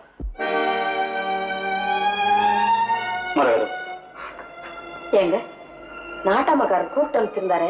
என்ன சமாச்சாரம்? திரும்ப திரும்ப பழைய சமாச்சாரம் தான் நம்ம லட்சுமியை அவர் மகனுக்கு கொடுத்தே ஆகணுமா? இல்லைன்னா பார்வதி கல்யாணத்தை நடத்த விட மாட்டாங்களா? நல்லா இருக்குதா நியாயம்? பார்வதி கல்யாணத்தை நிறுத்த இவங்க யாரா? இப்ப எந்த நியாயமும் நம்ம பக்கம் இல்ல மரகதம். ஊர் பஞ்சாயத்து அவர் பக்கம் தான் பேசுது. மூத்த பொண்ணு இருக்கிறப்போ சின்னவளுக்கு கல்யாணம் செய்யறது நம்ம ஊர் வழக்கம் இல்லையா? கட்டுப்பாடா சொல்லிட்டாங்க. ஏங்க இப்ப என்ன செய்யறது? என்ன செய்யறது மரகதம்? நம்ம லட்சுமி கல்யாணத்தையும் நடத்திட வேண்டியதான் என்னங்க இது அவ்வளவு சுலபமா சொல்லிட்டீங்க? லட்சுமிக்கு மாப்பிளை கிடைக்க வேண்டாமா? மாப்பிள்ளைங்க நான் முடிவு செஞ்சுட்டேன் மரகதம். மாப்பிளை முடிவு செய்துட்டீங்களா? ஆமா. நம்ம நாட்டாமக்காரர் மகனுக்கு நம்ம லட்சுமியை கொடுக்கறதாக வாக்கு கொடுத்துட்டேன். என்னப்பா ஒரு பைத்தியத்துக்கு அக்காவை கல்யாணம் செய்து வைக்க போறீங்க? முடியவே முடியாது. அக்காவோட வாழ்க்கை இப்படி வீணா போறதுக்கு நான் சம்மதிக்கவே மாட்டேன். எனக்கு மட்டும் சம்மதமாமா இது? வேற வழி இல்லாம தாமா நான் இந்த முடிவுக்கு வந்தேன். என்னங்க? லட்சுமி நமக்கு மகளா பிறந்த தோஷத்துக்கு அவ இந்த தண்டனையை அனுபவிக்கணும். வேண்டாங்க வேண்டாம். மனமறிஞ்சு அவளுக்கு இந்த கொடுமையை நம்ம செய்யக்கூடாது. என்ன மரகதம்? நீயும் விவரம் தெரியாம பேசுறீங்க. பார்வதி நல்ல இடத்துல வாழ்க்கப்படணும்னா நாம லட்சுமியை பறி கொடுத்துத்தான் ஆகணும். அப்பா எனக்காக நீங்க அக்காவை இப்படி சித்திரவதை செய்ய வேண்டாம். எனக்கு கல்யாணம் ஆகாட்டாலும் பரவாயில்ல. ஆனா அக்காவை அந்த பைத்தியத்துக்கு கல்யாணம் செய்து வைக்கிறது நான் அனுமதிக்கவே மாட்டேன். பார்வதி உனக்கு பெரிய இடத்துல சம்மதம் கிடைச்சிருக்குமா? அதை நிராகரிச்சா நம்ம குடும்பத்துக்கு இதை விட துர்பாக்கியம் வேற எதுவுமே இல்லை. யார் யார் தலையில எப்படி எப்படி எழுதியிருக்கும் அப்படித்தான் நடக்கும். ஏமாமா வாராம இவ்வளவு சாமா இருக்கு? ஆளுங்க எல்லாம் இருக்காங்க. எல்லாருக்கும் வண்டி இருக்கா? வண்டிக்கு என்னடா குறைச்சரு வில்லு வண்டி மொட்டை வண்டி ரெட்ட மாட்டு வண்டி ஜல்லிக்கட்டு வண்டி டயர் போட்ட வண்டி டயர் போடாத வண்டி கூண்டு வண்டி கை வண்டி எவ்வளவோ இருக்குடா. அதுக்கு மீறி சாமான் மிச்சிச்சுன்னா நிக்கிறானுங்கடே தடிமாடு மாதிரி. ஆளுக்கு ஒரு சமயம் தரையில தூக்கி வச்சு நடறாங்க நிஜமா? வாடா. இலையெல்லாம் எண்ணி கட்டியாச்சுங்க. மொத்தம் எவ்வளவு? மூவாயிரங்க. உன்னை உதச்சா என்ன? அடா வாங்கினதே எண்ணூறு. மூவாயிரமா? பேச்சு வாக்குற எண்ணதே திருப்பி திருப்பி எண்ணிட்டு இருக்கிறியா? இதுக்கு தெரியாதான் என்னன்னு? மறுபடியுமா? நீ எண்ணது போதண்டா? ஏத்துறதுக்கு போட? வண்டிகிட்ட போட. போடா. மாமா பாத்துறேன். வைக்க சொன்னீங்கல்ல? இந்தாங்க. ஏங்கற இத்தனை காய்கறி நகரத்தோட போறமே போற வழியில திருட்டு பையன் இருக்குமே எதுக்கும் துப்பாக்கி எடுத்துக்கீங்க? ஏன் சும்மா திருட்டு பசங்களுக்கு பயப்படுறீங்க? நான் இருக்கும்போது. அதானே நீ எல்லாம் இருக்கும்போது திருட வேற தனியா வரணுமா? முதல்ல உனக்கு காவல் போடணும். டேய் ஏற்பாடு பண்ணிருக்கேன்டா. உனக்கா நாலு நாய் வெளியே உலாசுது. நாட்டாயா காசு புலங்குற பக்கத்துல ஒண்ணு அண்ட விட மாட்டாமா? அம்மா அம்மா என்னம்மா? பழக்கமா இருக்கு. என்னம்மா பண்ணுது? ஒண்ணும் புரியல. ஒண்ணும் இல்லம்மா. அம்மா, சீக்கிரம் வைத்தியரை கூட்டு வாங்க. சீக்கிரம் பார்க்க ஒண்ணும் இல்லம்மா. ஒண்ணு இல்ல ஒண்ணு எந்திரிக்கம்மா பயப்படாதம்மா. ஒண்ணு இல்ல. மெதுவாங்கம்மா வைத்தியரியா. திடீர்னு ஹிருதயத்துல ஏதோ தாக்குதல் ஏற்பட்டிருக்கணும். ஆனா பயப்படும்படியா ஒண்ணும் இல்ல. ஏன் தம்பி? இதுக்கு முன்னாடி அம்மாவுக்கு இந்த மாதிரி மயக்கம் வந்ததுண்டா? இல்ல வைத்தியரியா. மருந்து கொடுத்து அனுப்புறேன். அவங்க ஓய்வு எடுத்துக்கிட்டோம் என்ன ராமு? கல்யாண ஏற்பாடெல்லாம் ஒண்ணும் நிறுத்த வேண்டாம். அதான் பயம் இல்லைன்னு வைத்தியரையா சொல்லிட்டாரே. எங்க? அம்மா நடவடலாம்ல நான் இப்போ ஒன்றும் சொல்ல முடியாது. மறுபடியும் சாயந்தரம் வந்து பார்க்கறேன். அவங்களுடைய உடல்நிலை பார்த்து தான் தீர்மானிக்க முடியும். எனக்கு வேண்டியதெல்லாம் நாட்டாம்காரையா? வெளியூர் இருந்து வர்றவங்களுக்கு ஒரு குறையும் இல்லாம செய்யணும். அவ்வளவுதான். சிதம்பரம்ல நீங்க எனக்கு சமுந்தியானதுக்கு பிற்பாடு உங்களை நான் விட்டு கொடுத்துடுவேனா நான் செய்திருக்கிற ஏற்பாட்டை பார்த்து அள்ளிக்குளம் ராசு அப்படியே அசரணும் அசரணும். ஐயா சம்பந்திகளா தங்கறதுக்கு சத்திரம் ஏற்பாடு பண்ணிட்டீங்களா? என்ன ஏற்பாடு பண்ணிட்டீங்களான்னு கேக்குறீங்க? கைக்கு சாவி வந்து ரெண்டு நாள் ஆச்சியா? அதற்கிட்ட வாத்தி. அந்த இடம் பத்தல அப்படின்னு சொன்னா உங்க பள்ளிக்கூடத்தையும் காலி பண்ணி கொடுக்கணும். அதுக்கு என்ன பயல்களா இன்னைக்கு விரட்டி. பள்ளிக்கூடத்தை இழுத்து பூட்டி சாவி உங்க கையில கொடுத்து என்ன வைத்தியரியா என்ன போக வேண்டாம்னு சொல்றீங்களே. நான் இப்ப நல்லதானே பேசிக்கிட்டு இருக்கேன். என் மகனோட கல்யாணத்துக்கு நான் கண்டிப்பா போய் ஆகணும். அம்மா தயவு செய்து நான் சொல்றத கொஞ்சம் கேளுங்க. இந்த நிலைமையில நீங்க பத்து மைல் வண்டியில பிரயாணம் செய்யறது நல்லதல்ல. அந்த அதிர்ச்சியில மறுபடியும் இருதய தாக்குதல் ஏற்பட்டால் உயிருக்கே ஆபத்து. அப்ப வேண்டாம் ராமு. வைத்தியர் சொல்றபடியே செய்வோம். அக்கா நீ நடமாடாம இருக்கிறதே நல்லது. அம்மா கல்யாணத்தை தள்ளி வச்சுக்கிட்டா போச்சு. நான் இப்பவே மாமாவை நேர்ல அனுப்பிச்சு அவங்களுக்கு தவறு சொல்லிட சொல்றேன். வேண்டாம் ராமு. எனக்காக சுப காரியத்தை நிறுத்த வேண்டாம். உன் கல்யாணத்தை கண் குளிர பார்க்க நான் கொடுத்து வைக்கல. அண்ணாமலை நீயே பக்கத்துல இருந்து எல்லாத்தையும் நல்ல விதமா முடிச்சிட்டு வா. அம்மா நீங்க இல்லாம எனக்கு கல்யாணமா? வேண்டாம்மா ராமு நான் சொல்றத கேளு. நம்ம வீட்டு முதல் கல்யாணம். அது நிறுத்தவே கூடாது. துரை புறப்படுறதுக்கு வேண்டிய ஏற்பாடெல்லாம் கவனி அண்ணாமலை சீக்கிரம். அக்கா இப்படி குமிரி குமிரி அழுதுகிட்டு இருந்தா என்னக்கா பிரயோஜனம்? அழுது அழுது கண்ணீர் வத்துறது தான் மிச்சம். உன்னை சித்திரவதை படுத்திக்கிட்டு நீ யாருக்காகவும் தியாகம் செய்ய வேண்டாக்கா இந்த கல்யாணம் வேண்டாம். நீ ஒரேடியா மறுத்து சொல்லிடு உனக்காக அம்மா அப்பா கிட்ட நான் பேசுறேன் அக்கா. அக்கா இப்படி கோழையா இருந்து எதுக்காக நீ கொடுமை அனுபவிக்கணும்? ஒரு பைத்தியத்துக்கு நீ எதுக்காக வாழ்க்கப்படணும்? உன் எதிர்காலம் ஏக்கா இப்படி இருட்டி போகணும்? இது வரைக்கும் நீ அனுபவிச்ச துன்பம் எல்லாம் போதும். பார்வதி அவகிட்ட அப்படியெல்லாம் ஏமா பேசுற? அவளால பேச முடியாது. இல்லைன்னா உங்க கால்ல விழுந்து நான் என்னம்மா பாவம் செஞ்சேன்? எனக்கேம்மா இந்த தண்டனை? நானும் உங்களுக்கு ஒரு மகதானே எனக்கேமா இந்த வஞ்சனம் பெத்த மகளுக்கு துரோகம் செஞ்சிட்டமே.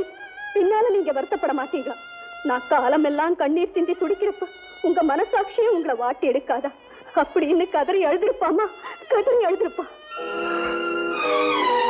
பார்வதி நம்ம ஏழ்மை கூட மறந்து அவளை ஒரு நல்ல இடத்துல கொடுக்கணும்னு நாங்க பாடுபட்டது உனக்கு தெரியாதம்மா? அதுக்கெல்லாம் உங்களுக்கு அருகதை இல்லைன்னு விதி இப்படி முடிவு செய்யறப்பா நம்ம என்னம்மா செய்ய முடியும்? பலிக்கு நிக்கிற ஆடு கூட கத்திய கழுத்துக்கு நேர கொண்டு போகும்போது ஒரு தடவை அம்மா நலரும். அக்கா அந்த சக்தியை கூட இழந்திருக்கிற அம்மா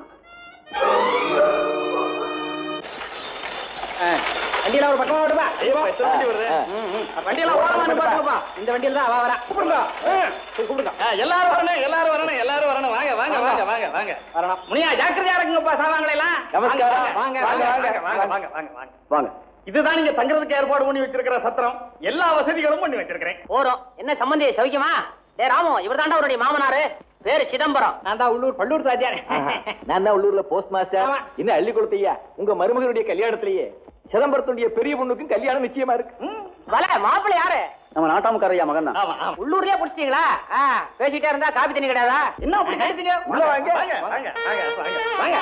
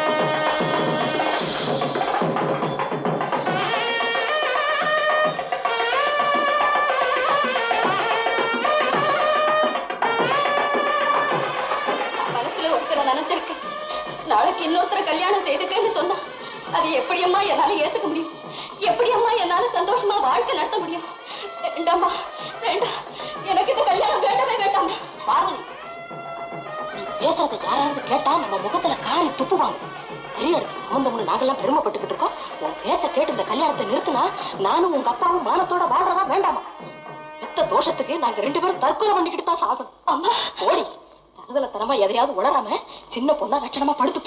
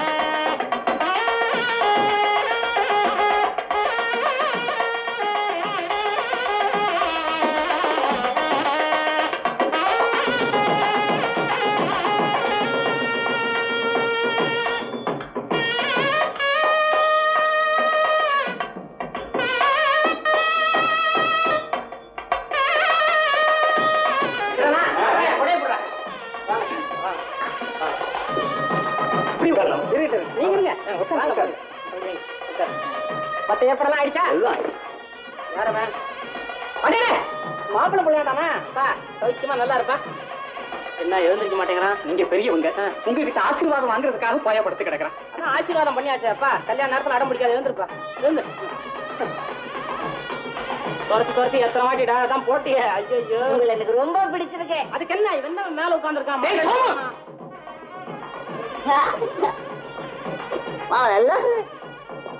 ஏங்க அவன் அப்படி போயிருமா பரவாயில்ல இங்கேயும் இருக்கலாம் இந்த பையன் சேட்டை எல்லாம் பண்றானே பையனுக்கு என்ன? வேற ஒண்ணும் இல்ல. கொஞ்சம் ஒரு மாதிரி. இப்ப உங்களுக்கு தெரியாது நிறைய மாதிரி. வாங்க வாங்க. ¡Ayúdame! ¡Ayúdame! ¡Ayúdame! ¡Ayúdame!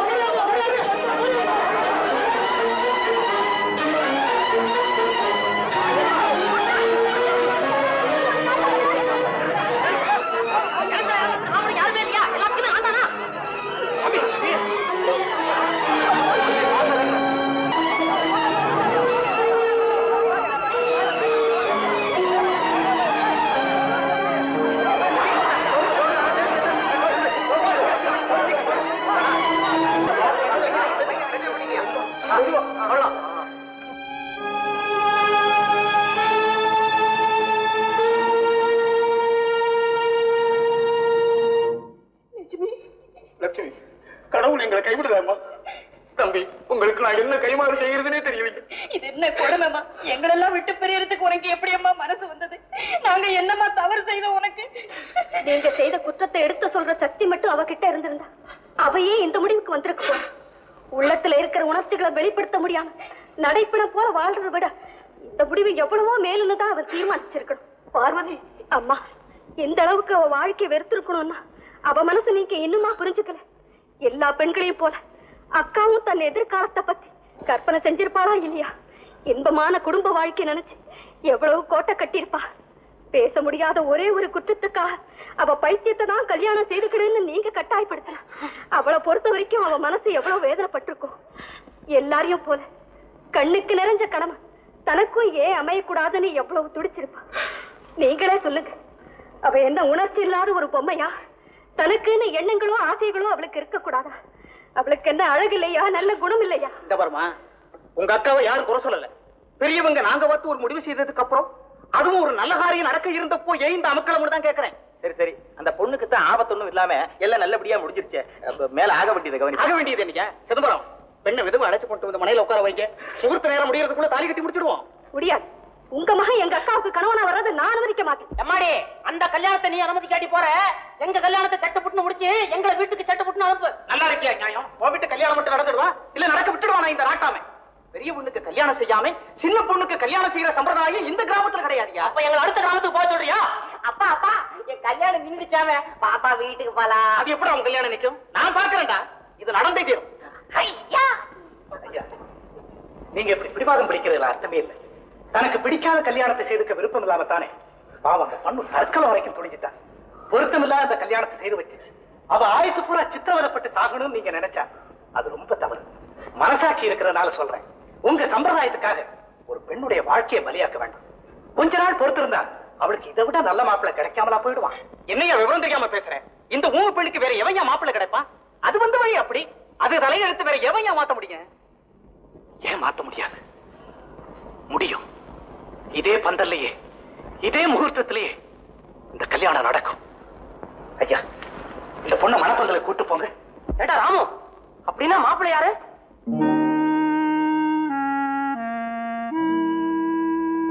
நான் தான். அவளை நானே கல்யாணம் செய்துக்கிறதா முடிவு செய்திருக்கேன் ராமு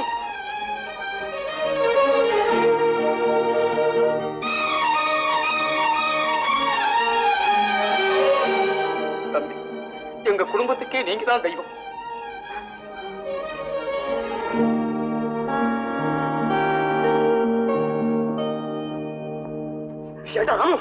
உனக்கு என்ன பைத்தியமா பிடிச்சிருக்கு? இந்த பொண்ணு நீ எப்படா கல்யாணம் பண்ணிக்கலாம்? எனக்கு இஷ்டம் இல்ல. என்னமோ பொண்ணை காப்பாத்தினே சரி. கல்யாணம் வரைக்கும் வந்தா விளையாடியா உங்க அம்மாக்கு யாரா பதில் சொல்றது? எனக்கு பயமா இருக்குடா. என்னடா பேசாம இருக்க சொல்லேன்டா ஆமா நான் தீர்மானிச்சிட்டேன். என் முடிவை யாரும் மாத்த வேண்டாம். முடிவே மாத்த வேண்டாம். எனக்கு வர ஆத்திரத்துக்கு எனக்கு ஒண்ணுமே புரியலடா. அண்ணா திருமணங்கிறது திடீர்னு முடிவு செய்யக்கூடிய ஒரு விஷயம் இல்லை அது வாழ்நாள் புறாவும். ரெண்டு பேரும் மனமுத்து வாழ வேண்டிய ஒரு புனிதமான உறவு. அதனால நீங்க அவசரப்பட வேண்டாம்னு தான் நான் நினைக்கிறேன். இவன் நிலைமை கண்டு நம்ம பரிதாபப்பட வேண்டியதுதான். அதுக்காக நீங்க இவளை கல்யாணம் செஞ்சுக்கணுமா? வேணும்னா நாமே ஒரு நல்ல மாப்பிள்ளைய பார்த்து இவளை கல்யாணம் செஞ்சு வச்சா போச்சு. கொஞ்சம் யோசனை பண்ணி பாருங்க அண்ணா இதுல யோசிக்கிறதுக்கு என்ன இருக்கு தம்பி? நான் எல்லாம் தெரிஞ்சுதான் செய்யறேன் இதுக்காக யாரும் கவலைப்பட வேண்டாம். வாங்க. ஏயா சிதம்பரம் நாலு பேருக்கு மத்தியில என்னை அவமானப்படுத்திட்டீல? என்னை எவ்வளவு வெளியூர்க்காரங்க உனக்கு வசதியா போயிட்டாங்க. இருக்கிறேன் இந்த நாட்டாமக்காரன் யாருங்கிறது இன்னும் கொஞ்ச நாளையில புரிஞ்சுக்கிடுவையா யா. இதுக்கா ஏன் நாளை தள்ளி போடுற? உன் நாட்டாம பவுசு தான் இப்பவே தெரிஞ்சு போச்ச. முதல்ல பத்திரமா உன் பையனை கூட்டி போச்சாரு கிறுக்கு பைய. ஆவார கிணத்துல விழுந்து துளைக்க போறான். அப்புறம் நீ தான் குதிக்கணும்.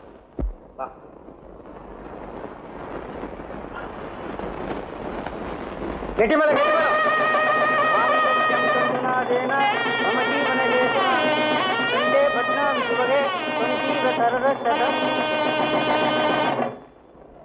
மாமா துரை கொஞ்சம் இப்படி வாங்க. நீங்க எப்ப ஊருக்கு போறீங்க? வண்டி எல்லாம் கட்ட சொல்லியாச்சுப்பா. உடனே புறப்பட வேண்டியதா இங்க உட்காந்துட்டு என்ன பண்றது? அண்ணா நீங்க? அவங்க சம்பிரதாயப்படி ஒரு நாள் தங்கி இருந்துட்டு போகணுமா? நான் லட்சுமி கூட்டிட்டு நாளைக்கு வந்துடுறேன். மாமா நீங்க முதல்ல போய் உங்க அம்மா கிட்ட எங்க திட்டு வாங்க சொல்றியா? நீ பண்ணிருக்கிற காரியத்துக்கு அவகிட்ட போய் என்ன சொல்றது? எப்படி சொல்றதுன்னு ஒண்ணுமே புரியல. துரை நீ தான் இங்க இருந்து போன உடனே அவங்க கிட்ட இங்க நடந்த விஷயத்தெல்லாம் சொல்லி சமாதானப்படுத்தணும். என்ன துரை? சரிண்ணா. என்ன சரிங்கிற புறப்படுங்க. இல்லையா வாங்க வாங்க.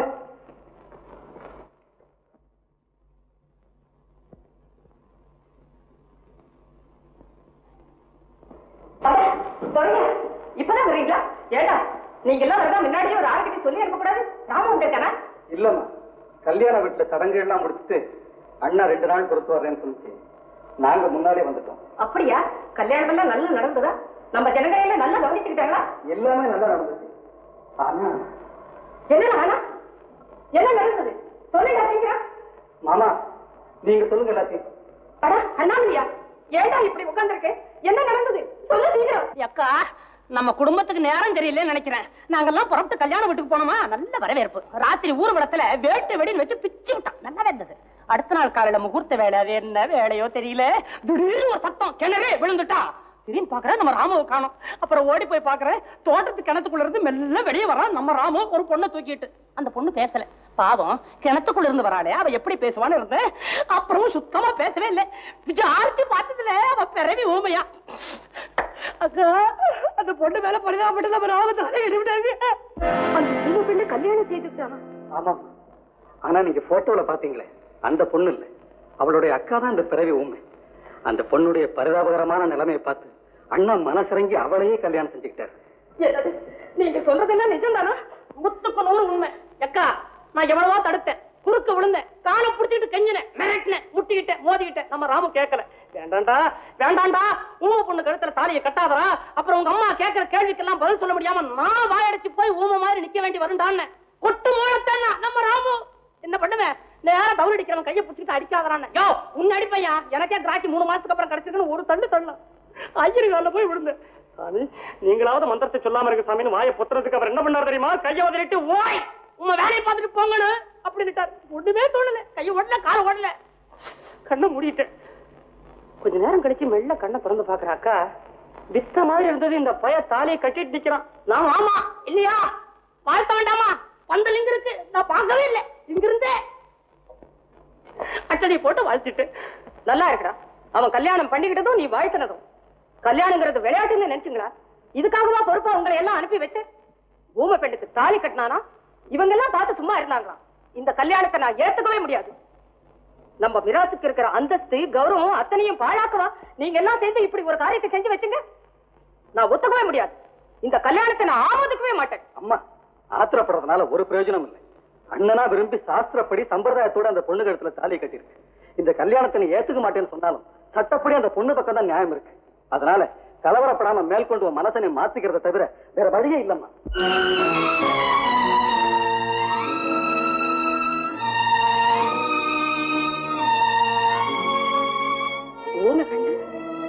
இந்த வீட்டுக்கு மருமகளா வர்றதா?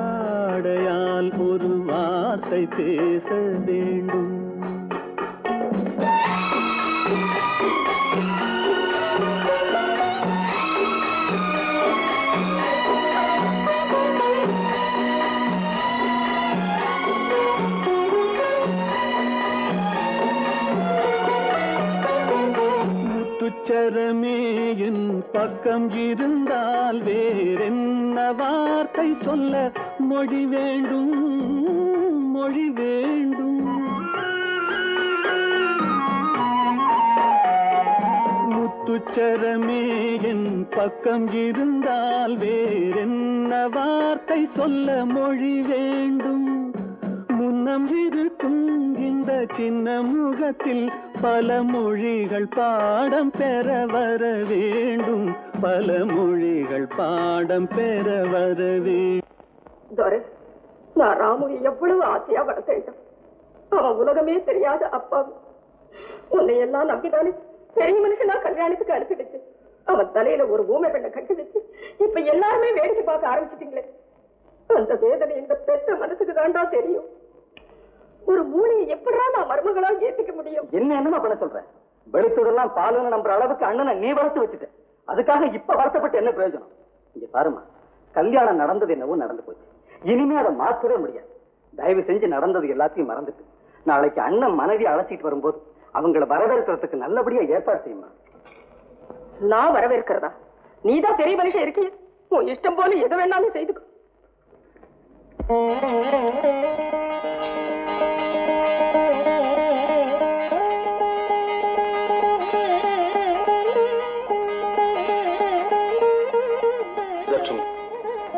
அதிர்ஷ்டம் செஞ்சோம் உன் புருஷனுடைய மனசு போனாம நடந்து நம்ம குடும்பத்துக்கு நீராமா நல்ல பேரை கொண்டுகிட்டு வரணும்.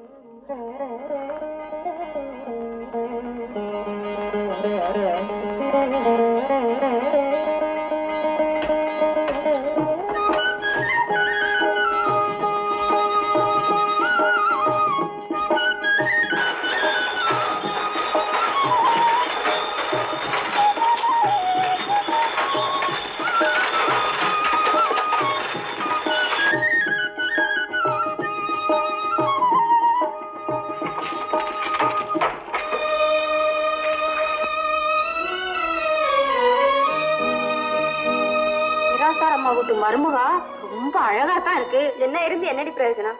அதுதான் ஊமையாமே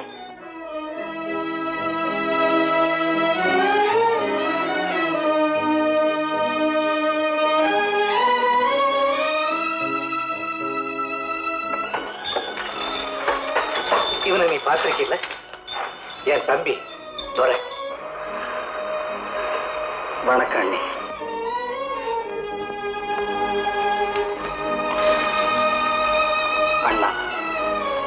நல்ல இருதயத்தை புரிஞ்சக்கூடிய சக்தி இங்க ஒருத்தரை கூட இல்லை. நீங்க செஞ்ச தியாகத்தை போற்றவோ புகழவோ இங்க யாருமே இல்லை. மாப்பிள்ளை கோலத்துல வந்திருக்கீங்க.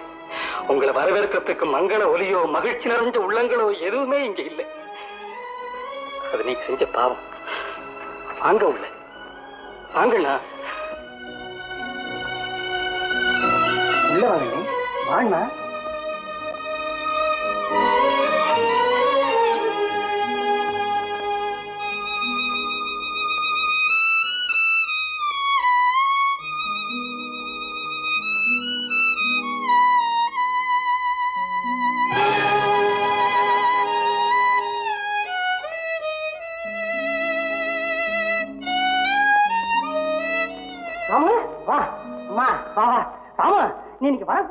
கொஞ்சம் கூட ஞாபகமே இல்ல. எனக்கு மாத்திரம் கவனம் இருந்துச்சு. வீடு இப்படியா இருக்கும். பொட்டு மேல சார தப்பட்டை எல்லாத்தையும் வச்சு அமக்கலமா வரவேற்பு கொடுத்துருப்பேன் தெரியுமா? டேய் அண்ணாமலை உன் வேலையை பார்த்துக்கிட்டு நீ போக மாட்ட.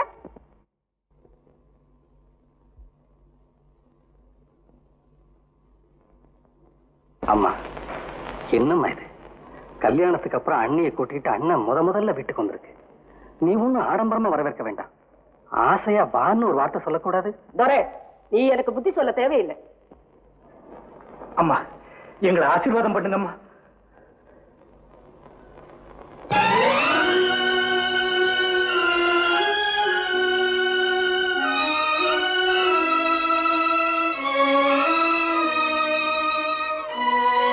அண்ணா பெத்த தாய் கொஞ்சம் கூட பாச உணர்த்தி இல்லாம எப்படி இருதயம் இல்லாம நடந்துக்கிறாங்க பாத்தியா? இல்ல துறை அம்மாவை எந்த குறையும் சொல்லாது. அவங்க ஆசீர்வாதம் கூட எனக்கு கிடைக்கல. அது நான் செய்த பாவம் தானே தவிர வேற ஒன்றும் இல்லை. பாலட்சுமி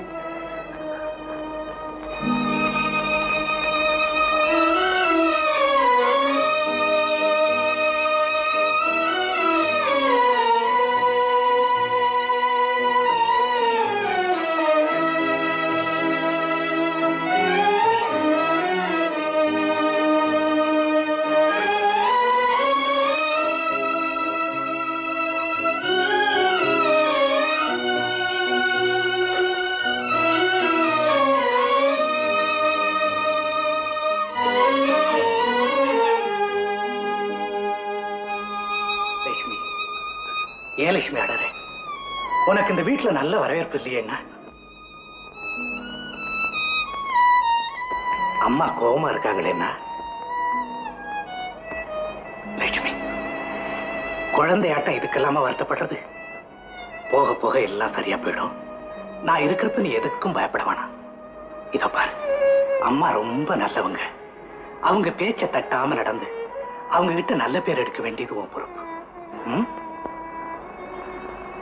இந்த வீட்டுல யார் யார் குணம் எப்படி எப்படிங்கிறத போக போக உன்னால புரிஞ்சுக்க முடியும்னு நினைக்கிறேன்.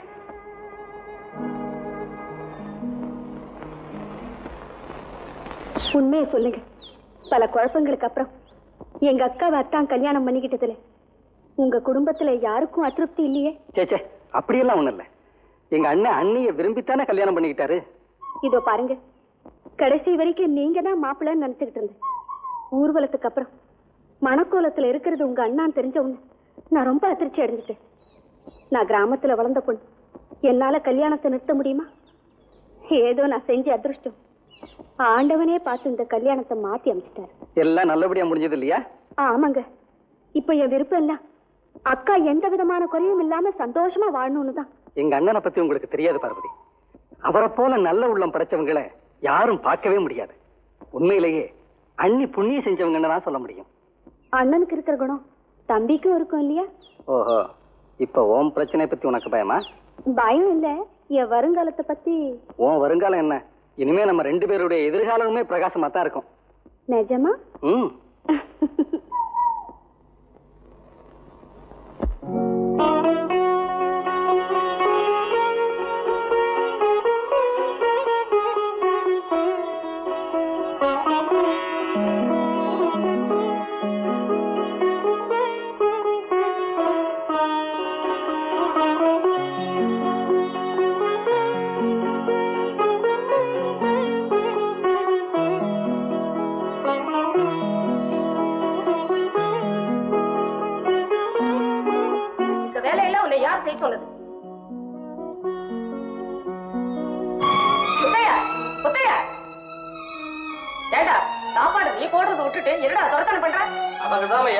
ஆயிட்டாங்க.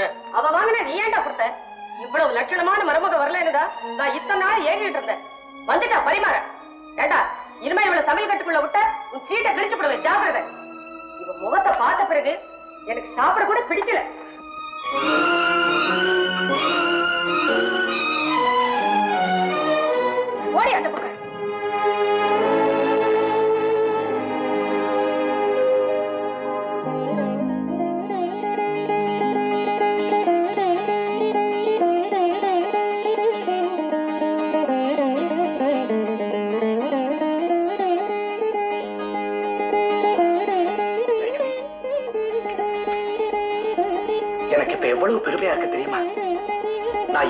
அதிர்ஷ்டசாலி லட்சுமி. காரணம் உன்னை மனைவியா அடைஞ்சிருக்கேன் பாரு.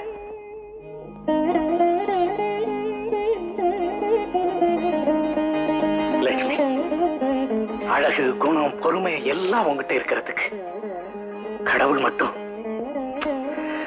கடவுளுக்கே பொறாம குணம் அதிகம்னு நினைக்கிறேன். ராமு அவ ஏன் இங்க வந்தா? என்னம்மா? அவ இந்த வீட்டுக்கு வந்த பிறகு அவ இருப்பிடமே சமையலறையும் தொலைச்சி மாட வந்தாரம்மா. இல்ல ராமு. அவளை நீ மனைவியா ஏத்துக்கிட்ட. ஆனா என் மருமகளா ஏத்துக்க நான் தயாரா இல்ல. அவ இந்த இடத்துக்கு வரக்கூடிய யோகிதை ஏன் இந்த வீட்டுக்கே வரக்கூடிய யோகிதை அவளுக்கு கிடையாது. அம்மா என்ன நம்பி? உங்களை நம்பி. தன் வாழ்நாள் பூரா இந்த வீடுதான் தன் சொர்க்கம்னு பரிபூர்ணமா நம்பி. தஞ்சமடைஞ்சிருக்கிற இந்த லட்சுமிக்கு இந்த தண்டனை கூடாதும்மா. லட்சுமி. அந்த உண்மையான லட்சுமியினுடைய அக்கா பேர் இவளுக்கு வச்சிருக்கணும். அதான் ரொம்ப பொருத்தம்.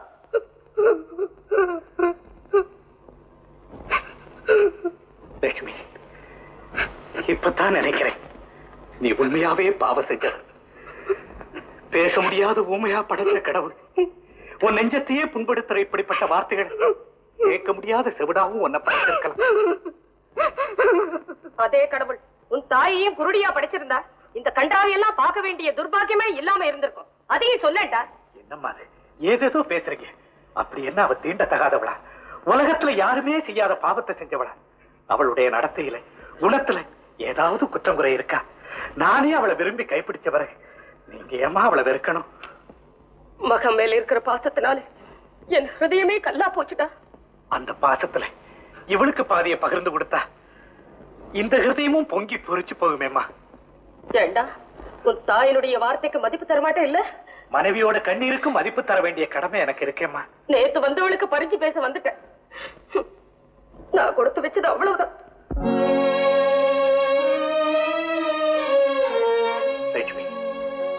நான் பிறந்ததுல இருந்து என்னைக்காவது என் தாயை எடுத்து பேசியிருக்கேன்னா அது இன்னைக்குதான் லட்சுமி. இதோ பாரு என் தாயை நான் பூஜிக்கிறேன். உன்னை நான் நேசிக்கிறேன்.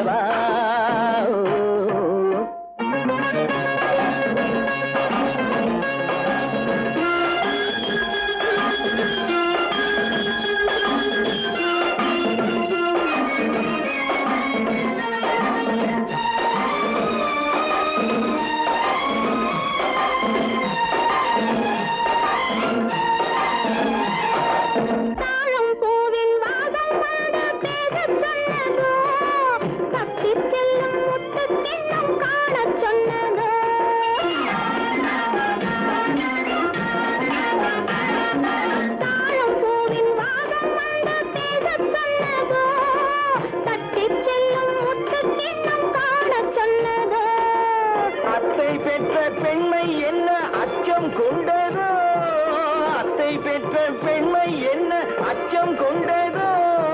ஆசை கொஞ்சம் நாணம் கொஞ்சம் மிச்சம் கொண்டதோ?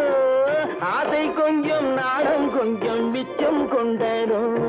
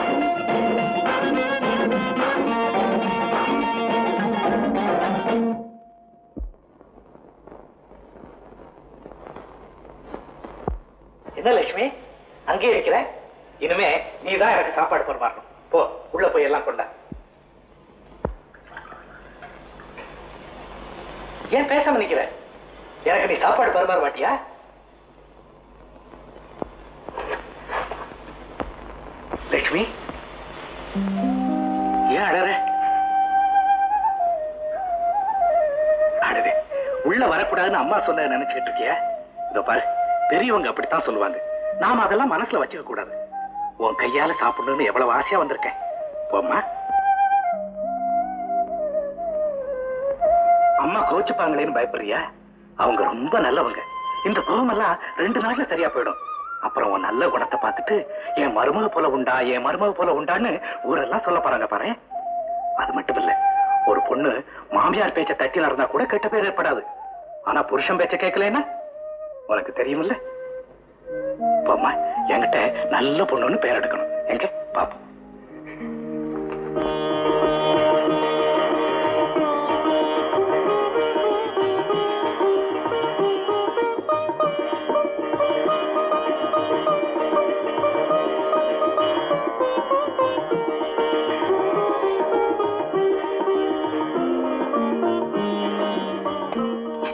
லட்சுமி எங்க பாக்குற? தட்டு நிறைய சாதத்தை போட்டுக்கிட்டே இருந்தா வயத்துல இடம் வேண்டாம்.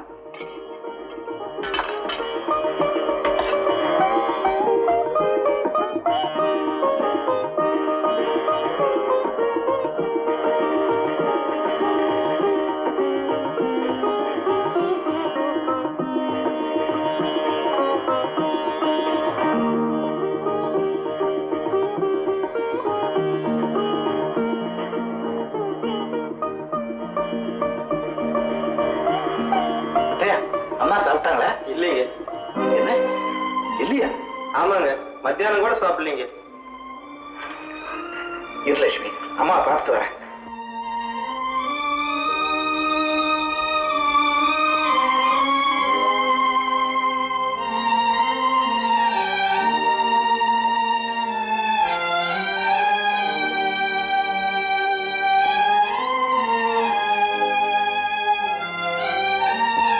அம்மா சாப்பிடலையம்மா ஏமா பேசாம இருக்கீங்க நீங்க சாப்பிடலன்னு நான் கூட சாப்பிடலம்மா.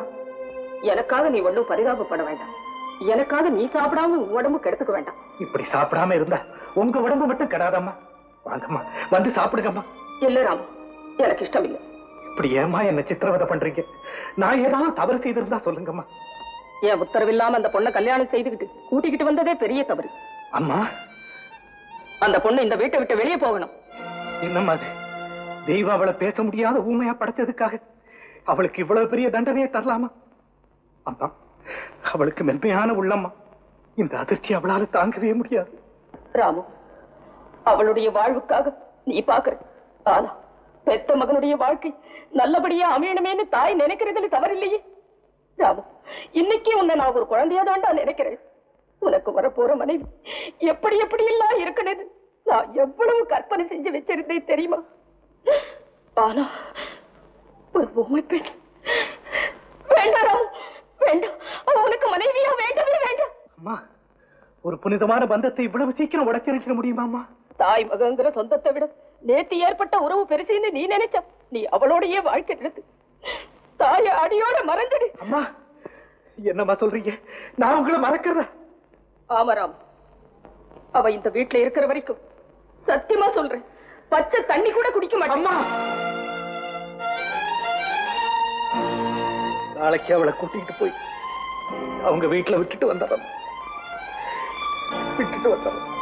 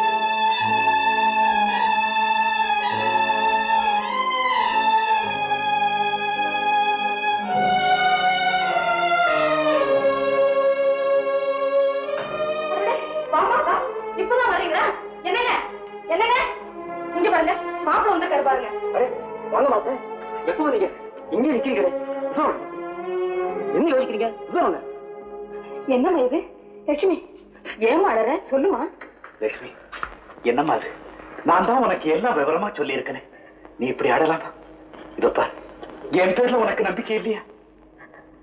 லட்சுமி நான் உன்னை மறந்துடுவேன்னு நினைக்கிறியா? உண்மையா சொல்ற லட்சுமி. நான் மனசாட்சி உள்ளவன்.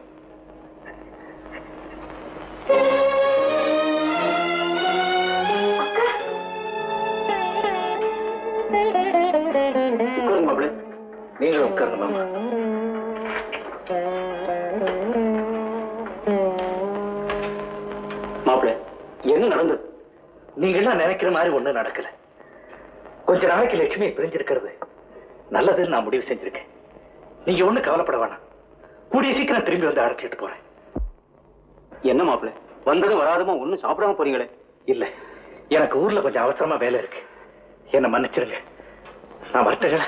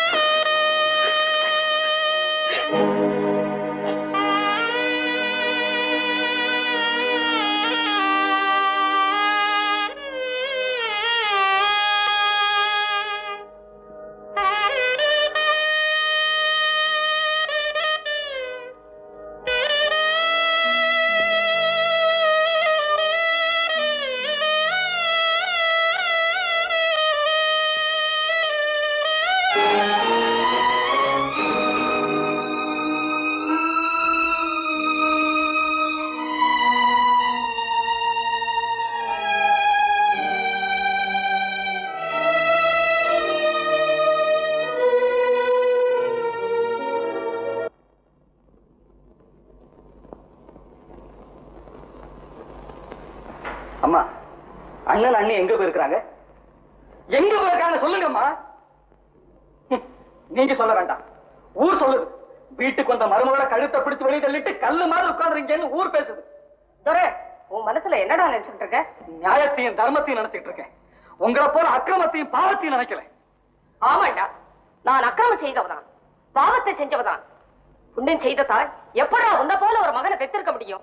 சொந்த பிள்ளைக்கு நல்லது செய்ய நினைச்ச என்ன நீ இப்படி வாய் கூசாம பேசுறீங்கம்மா கைகை கூட தான் தன் மகன் பரதனுக்கு நல்லது செய்ய நினைச்சான் அண்ணனுக்கு துரோகம் செய்துட்டு தனக்கு நல்லவன் அவன் கதறல துடிக்கல? அம்மா கொஞ்சம் சிந்திச்சு பாருங்க. நீங்க ஊமையா இருந்து உங்க கணவன் உங்களை வாழாபட்டியா தள்ளி வச்சிருந்தா அந்த நிலைமையை சொல்லி அழக்கூட உங்களால முடியாதேம்மா. அவங்களும் உங்களை போல பெண் தானே அம்மா தாய்ங்கிற ஸ்தானம் தெய்வத்துக்கு சமானம். அந்த தெய்வமே இந்த கொடுமையை செஞ்சா அது தெய்வம் இல்லை.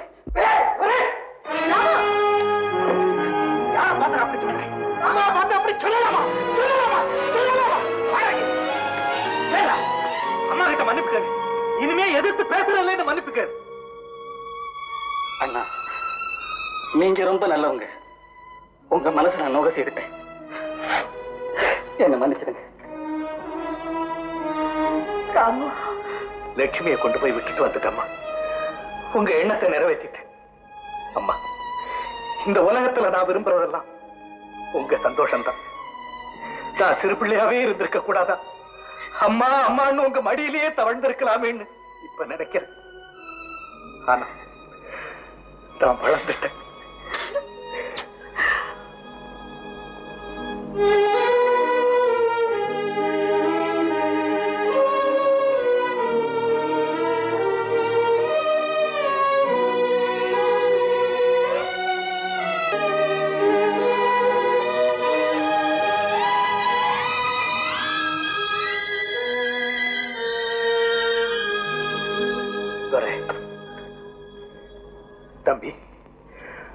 உணர்ச்சி வசப்பட்டு ஒன்னு அடிச்சிட்டேன்.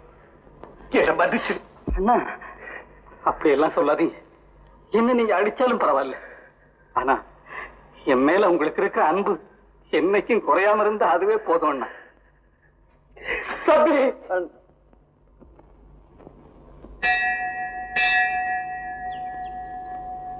ஏண்டி செல்லம்?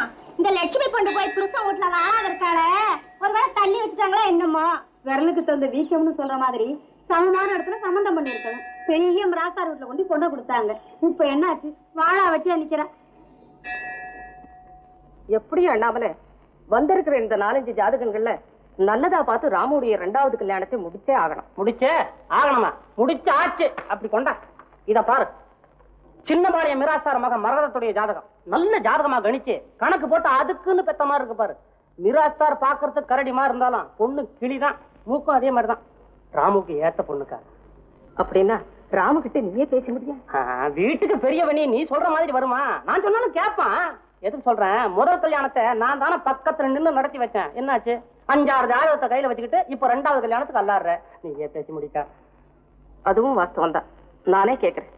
எப்படியும் அவனுக்கு நல்லது ஏற்படுனதுதானே நான் பாடுபடுறேன். பின்ன இல்லையா அக்கா நீ ஒருத்தி இல்லைன்னா இது வீடா? பசங்க செஞ்ச புண்ணியம் நீ அம்மாவா இருக்கிற. என்ன தெரியும் அவங்களுக்கு பொறுப்பத்த பசங்க. துரையை என்ன வேணும்னாலும் சொல்லு. என் ராமு அப்புறம் ஒண்ணு சொல்லாத. சொல்லிட்டீங்க சொல்லிட்டீங்க அவன் தங்கமான பயலாச்சே. சரே அவனும் நல்லவன் தான்.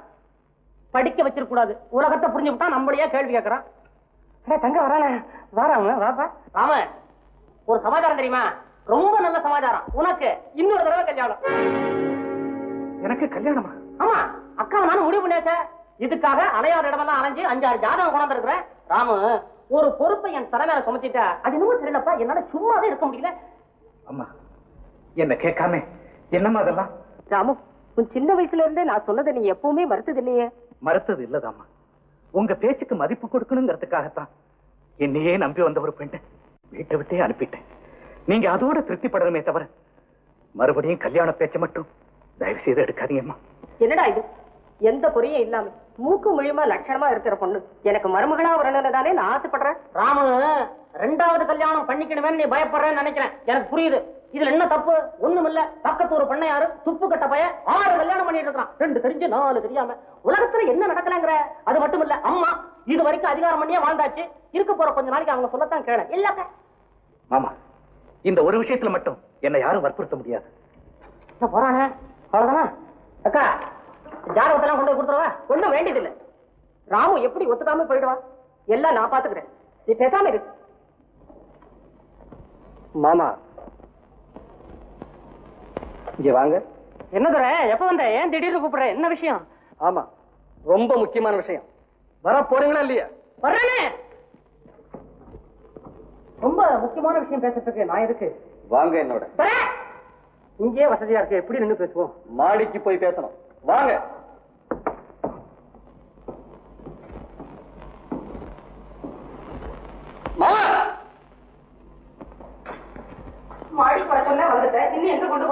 எதுவும் வாங்க.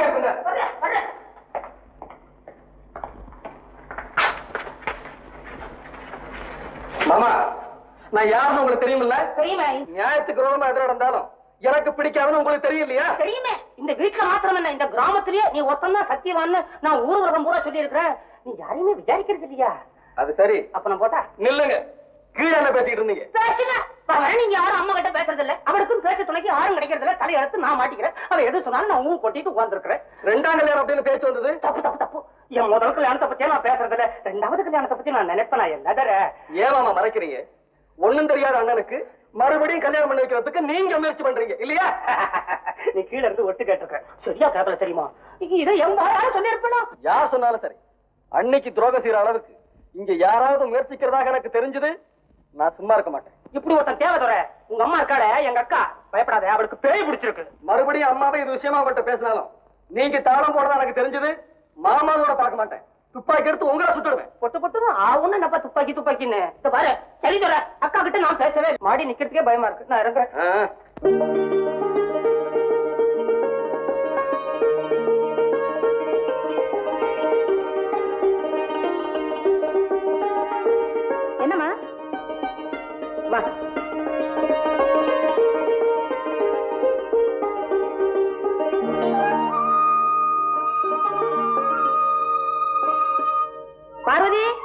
பார்வதி என்னம்மா? அப்பா அப்பா. அப்பா.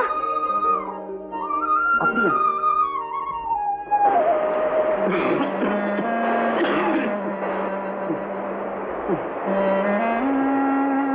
மருதனா மருதனா என்னங்க? கூடத்துல ஒரு ரேடியா சார் அடிக்குது. குளிருது அப்படியா? ஆமா. உடம்பெல்லாம் சுடுது. காத்து அடிக்குது போல இருக்க. அடிச்சா நம்மளுக்கு என்ன பண்ண போகுது? நான் உட்கார நிறைய படுத்துக்கிறேன். சரி வாங்க.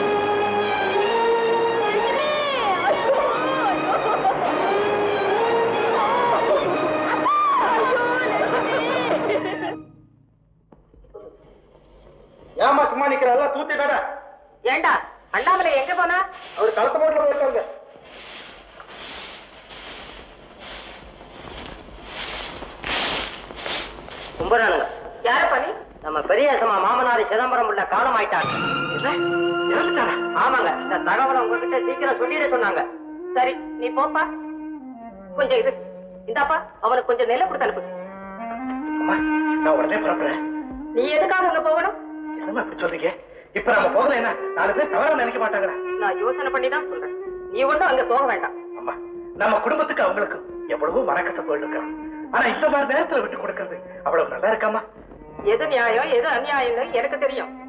அவங்க தொடப்ப வேண்டாம்னு நான் முடிவு செஞ்சதுக்கு அப்புறம் நான் எதை பத்தியும் கவலைப்படுறதா இல்ல. தீர்மானமா சொல்றேன். நாம யாரும் போக வேண்டிய அவசியம் இல்லை.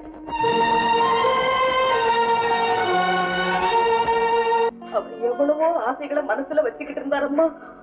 நீ வாழாம இந்த வீட்டுக்கு வந்ததுல இருந்து நிம்மதி இல்லாம துடிச்சு போனாரு. ராத்திரியும் பகல் சதா உன் சும்மா நினைச்சு நினைச்சு அது என்ன பிரயோஜனம்? இந்த சமயத்துல நீங்க தானே திடமா இருக்கணும். உங்க குழந்தைகளுக்கு நீங்க ஆறுதல் சொல்றதை விட்டுட்டு நீங்களே இப்படி அழுதுகிட்டு இருந்தா? தம்பி அவர் என்னை விட்டுட்டு போனதுல இருந்து நானும் அனாதையாயிட்டேன். நான் யாருக்கு தம்பி ஆறுதல் சொல்ல முடியும்? ரெண்டு பொண்களை என்கிட்ட ஒப்படைச்சிட்டு போயிட்டாரு. இந்த பொறுப்பை நான் எப்படி தம்பி சுமக்க போறேன்?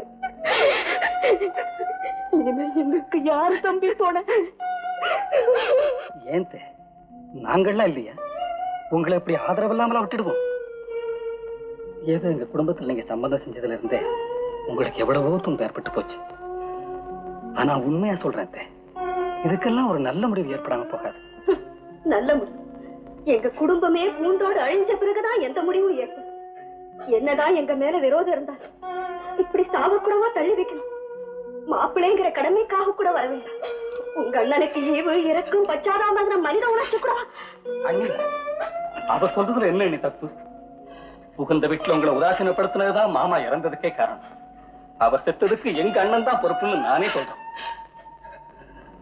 அண்ணி உங்க பண்பையும் பவித்திரமான எண்ணத்தையும் பாக்குறப்போ என் தாயை விட நீங்க தான் எனக்கு உயர்ந்தவங்க. கூடிய சீக்கிரம். நீங்க இருக்க வேண்டிய இடத்துல உங்களை சேர்த்து கொடுக்க வேண்டிய உரிமைகளை உங்களுக்கு கொடுத்து நீங்க சந்தோஷமா இருக்கிறத நான் பாப்பேன் நீ. இது சத்தியம்.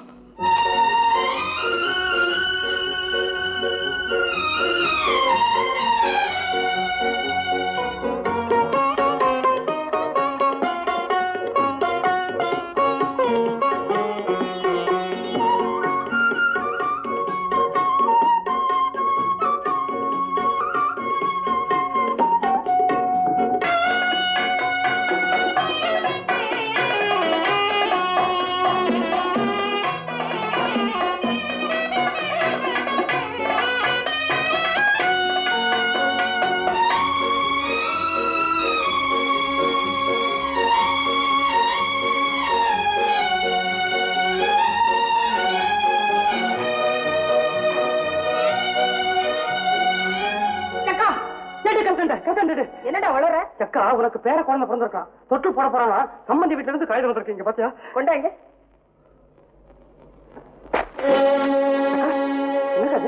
இந்த கடிதம் வந்தது யாருக்கும் தெரிய வேண்டாம். கிழிச்சு போட்டதும் யாருக்கும் தெரிய வேண்டாமா? பார்வதி தயவு செய்து நான் சொல்றத கேளு. எனக்கோ எங்க அண்ணனுக்கோ குழந்தை பிறந்த செய்தி தெரியவே தெரியாது. இதுல ஏதோ குழப்பம் இருக்கு. யாரோ நீங்க எழுதின லெட்டரை எங்களுக்கு தெரியாம மறைச்சிருக்கணும். சந்தேகமே இல்லை. பார்வதி எங்க அண்ணன் நீங்க யாரும் தவறாவே நினைக்காதீங்க. நான் உடனே போறேன். இந்த நல்ல சமாச்சாரத்தை எங்க அண்ணன் கிட்ட சொல்றேன். அவர் சந்தோஷத்தால துள்ளி ஓடி வர போறார் பாரு அண்ணா அண்ணா அண்ணா. என்ன தர உங்களுக்கு தெரிஞ்ச நல்ல சமாச்சாரத்தை ஏன்னா என்கிட்ட சொல்லல? நல்ல சமாச்சாரமா? நீ என்ன சொல்ற?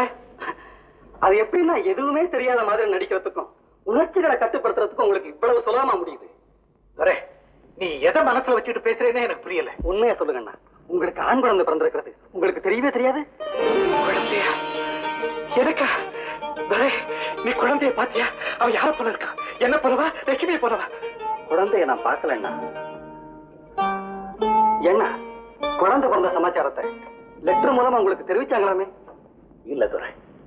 எனக்கு லெட்டர் கிடைக்கல. அது எங்கேயாவது தவறி போயிருக்கும். தவறி போயிருக்காது. உங்களுக்கு தகவல் கிடைக்கல. அவ்வளவுதான். அம்மா மறைச்சிருப்பாங்கன்னு நீ சந்தேகப்படுறியா?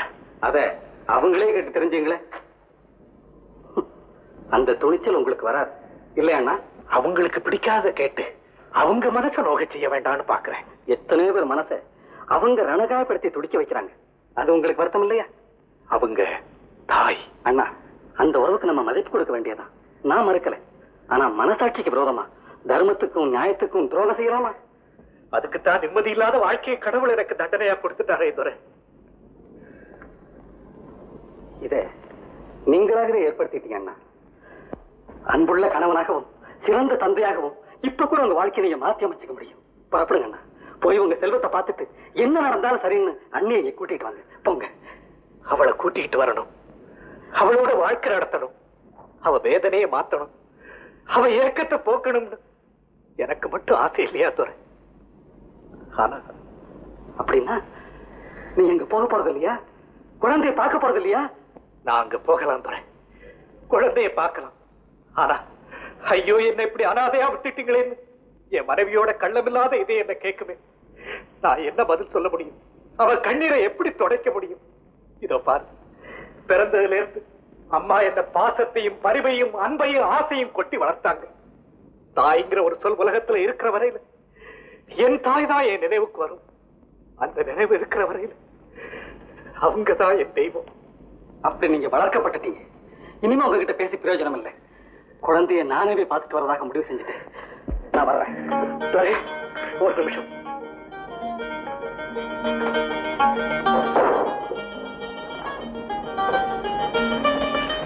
துரை, இந்த பணத்துக்கு ஒரு தங்க நகையை வாங்கி என் தங்கத்துக்கு பரிசா கொடுத்துரு. லட்சுமி கிட்ட அவளுக்கு நான் என்ன சொல்ல போறேன்? நீ புறப்படு.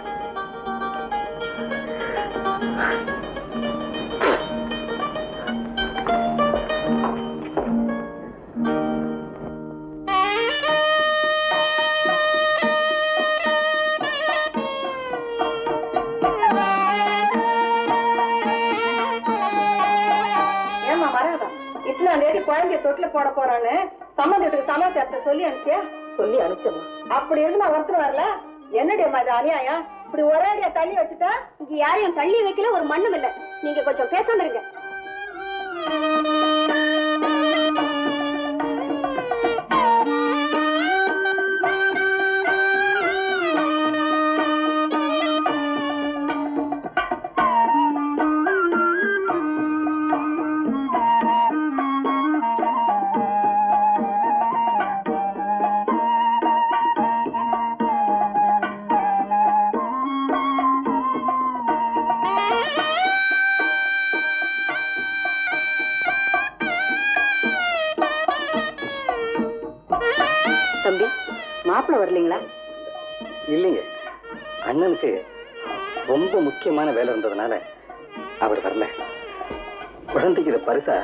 என்கிட்ட கொடுத்து அனுப்பிச்சார். அண்ணி குழந்தை ரொம்ப அழகா இருக்கு சொல்ல வேண்டியவங்க சொன்னாதானே மனசுக்கு திருப்தியா இருக்கா? என்னதான் வேலை இருந்தாலும் இப்படி சொந்த குழந்தை பார்க்க வராம இருப்பாங்களா? களத்து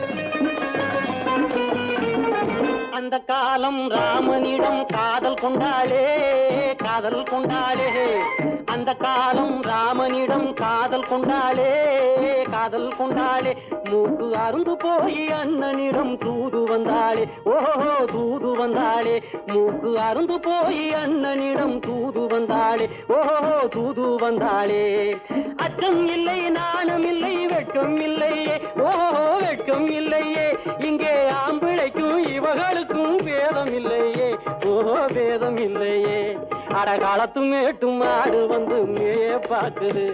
அத விரட்டும் போது கொம்ப சாட்சி பாய பாக்குது. ஆஹோ பாய பாக்குது. களத்து மேட்டு மாடு வந்து மேய பாக்குது. இது காளையாக பிறந்திருந்தா உழவுக்கு உதவுமே. உழவுக்கு உதவுமே. இது கழுதையாக பிறந்திருந்தா பொதியை சுமக்குமே பொதியை சுமக்குமே. இருந்தா கயிறம் மாட்டுவேன். நான் கயிறம் மாட்டுவேன். என் பொண்டாட்டியா இவ இருந்தா காவி மாட்டுவேன். சாமியோ காவி மாட்டுவேன். ஆணும் பொண்ணும் சண்டை போடும் அழகை பார்க்கும் போது தோணுதம்மா பழைய கதை சொல்லுற நான் கேளு. தோணுதம்மா பழைய கதை சொல்லுற நான் கேளு. எட்டு வருஷம் ஆச்சுதம்மா. கொட்டாம்பட்டி பக்கம். இப்படித்தான் சின்ன பொண்ணு கை பிடிச்சா ஒருத்தனே. இப்படித்தான் சின்ன பொண்ணு கை பிடிச்சா ஒருத்தனே. அப்புறம்தான் கதை இருக்கு. அதையும் சொல்லுறேன் கேளுங்க. ஐயோ மறுபடியும் பழைய கதையை சொல்ல போறாங்க வாங்கடி வாங்கடி ஓடி போயிடலாம். வாங்கடி, வாங்கடி, வாங்கடி. எத்தனை என்ன முப்பத்தாறா மூணு மூணா. மூணு நாலு. அக்கா வண்டி வருதுக்கா?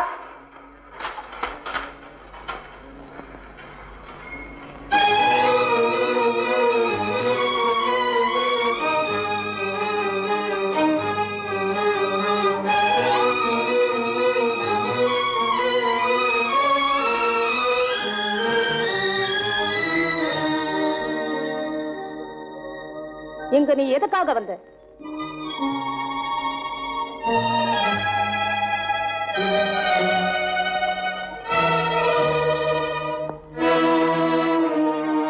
உங்க வீட்டு மருமக இந்த இடத்துக்கு வராம வேற எங்கம்மா போவா? உன்னோட பேச நான் தயாரா இல்ல. அம்மா இவளால பேச முடியாதுங்கிறதுக்காகத்தான் இவ கூட நான் வந்திருக்கேன்.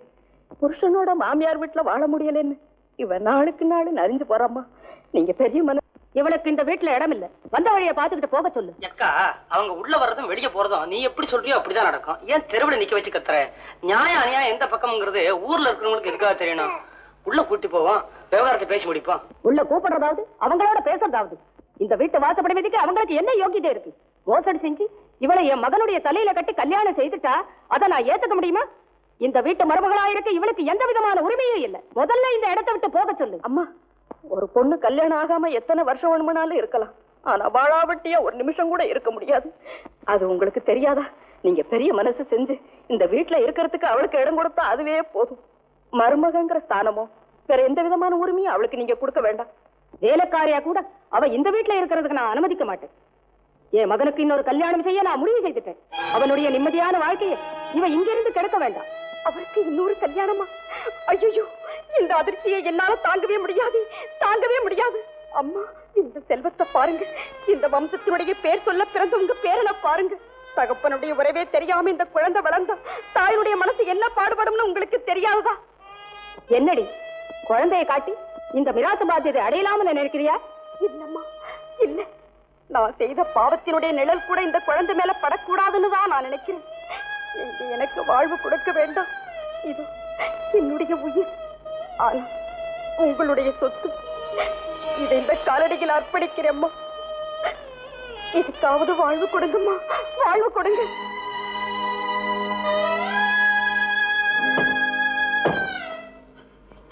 லட்சுமி.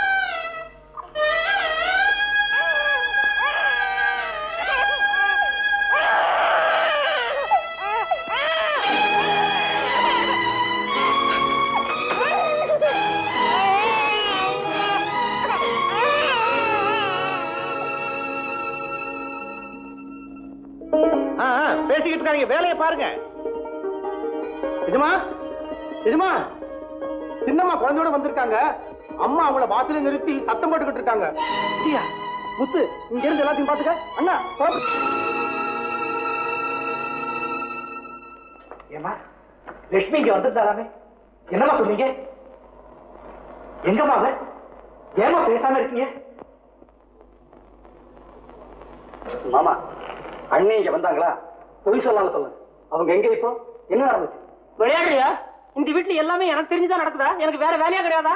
இந்த கணக்கு புத்தகத்தை பிரிச்சு வச்சுக்கிட்டேன்னா நான் இதுலயே முழுகிடுறேன். பட்ட சமத்துக்கு பல சமயத்துல நான் இப்படி தூங்கிடுறேன். என்ன நடந்ததுன்னு என்ன கேட்டா எனக்கு என்ன தெரியும்? அதுக்கு தான் உங்க அம்மா எங்க அக்கா இருக்காள் அவளை கேளு. மாமா சொல்ல போறீங்களா இல்லையா? யாரடா மிரட்டுற? சின்னவங்க பெரியவங்கங்கிற மரியாதை இல்லாம என்னடா ரவுடித்தனம் பண்ற? ஏதாவது கேட்கணும்னா என்ன கேளு? நான் பதில் சொல்றேன் ஏய், என்ன இருந்தாலும் அம்மா பெரியவங்க. அவங்க இப்படி மரியாதை இல்லாம பேசுறது எனக்கு கொஞ்சம் கூட பிடிக்கல. அம்மா லட்சுமி கை குழந்தையோட இங்க வந்திருந்தாளாமே. ஆமாண்டா வந்தா. இந்த வீட்டு மருமகன் உரிமை கொண்டாடிக்கிட்டு வந்திருந்தா. கூட உங்க மாமியாரும் வந்திருந்தா. என்ன நினைச்சிட்டு வந்தாளோ பாவம்? அவன் வந்திருக்க வேண்டாம் ஏம்மா லட்சுமியை திருப்பி அனுப்பிச்சிட்டீங்களா? ஆமா. என்னம்மா சொல்லி அனுப்புனீங்க? இந்த வீட்டுல உனக்கு இடமில்லைன்னு சொல்லி அனுப்பிச்சேன். அப்படி சொல்ல உங்களுக்கு என்ன அதிகாரம் இருக்கு?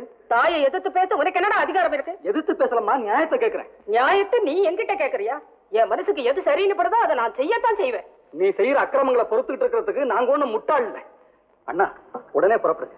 போய் அண்ணியையும் குழந்தைய அழைச்சிட்டு வாங்க. அவங்க இந்த வீட்டுல வாழ்றதுக்கு யார் எப்படி தடை சொல்றாங்கன்னு நான் பாக்குறேன். துரை கொஞ்சம் பொறுமையா. அம்மா நான் உங்க பேச்சை தட்டுறதா நினைக்க கூடாது கைப்பிள்ளையும் கையுமா? நம்பிக்கையோடு தானமா அவ நம்ம வீட்டுக்கு வந்திருக்கணும். நம்ம குடும்பத்துக்குள்ள ஆயிரம் மனக்கசப்புகள் இருந்தாலும் ஊரார் கண்ணெதிரில் அந்த அப்பாவி பெண்ணுக்கு வாழ்வு தரலைங்கிற கெட்ட பேரை நாம ஏமா சம்பாதிக்கணும்? அம்மா நீங்க உத்தரவு கொடுத்தா நான் இப்பவே போய் லட்சுமியை கூட்டு வந்துடுறேம்மா ராமு உன்னை பெத்து வளர்த்து ஆளாக்கின தாயை விட உனக்கு மனைவிதான் பெருசுன்னு நீ முடிவு கட்டுறதா இருந்தா உன் இஷ்டம் போலவே செய். ஆனா அவ மறுபடியும் இந்த வீட்டுக்கு வரும்போது நான் உயிரோடு இருப்பேன்னு மட்டும் நீ உங்க உத்தரவு இல்லாம நான் லட்சுமியை கல்யாணம் பண்ணிக்கிட்டது தவறா இருக்கலாம். அந்த நல்லவளுடைய வாழ்க்கை அதனால பாதிக்க வேண்டாம்னு நினைச்சனே தவிர உங்க விருப்பத்துக்கு விரோதமா நடக்கணும்னு நான் நினைக்கவே இல்லம்மா. அண்ணா நீ இப்படி விட்டு கொடுத்துக்கிட்டே போறதுனாலதான் அம்மா உன்னை துரும்புக்கு கூட சமமா மதிக்க மாட்டேங்கிறாங்க. தாய் பாசத்துக்கு அன்புக்கும் கட்டுப்பட்டு நீ அவங்களுக்கு அடங்கி நடக்கிறத அவங்க தனக்கு சாதமா எடுத்துக்கிட்டு உன்னை ஒரு கோரையாக்கிட்டாங்க. இதனால அண்ணியுடைய சுபிட்சமான எதிர்காலம் மட்டும் இல்ல உன்னுடைய வாழ்க்கையே அணு அணுவா பாதிக்கப்பட்டுக்கிட்டு வருது. மனைவியை பார்க்க முடியாது. தனக்கு பிறந்த குழந்தையை கூட பார்க்க முடியாது. இது என்னென்ன அடிமைத்தனம்? உன் நிலைமையில மட்டும் நான் இருந்தா? நீ இருந்தா? என்னடா செய்வேன் உன்னால என்ன செய்ய முடியும்?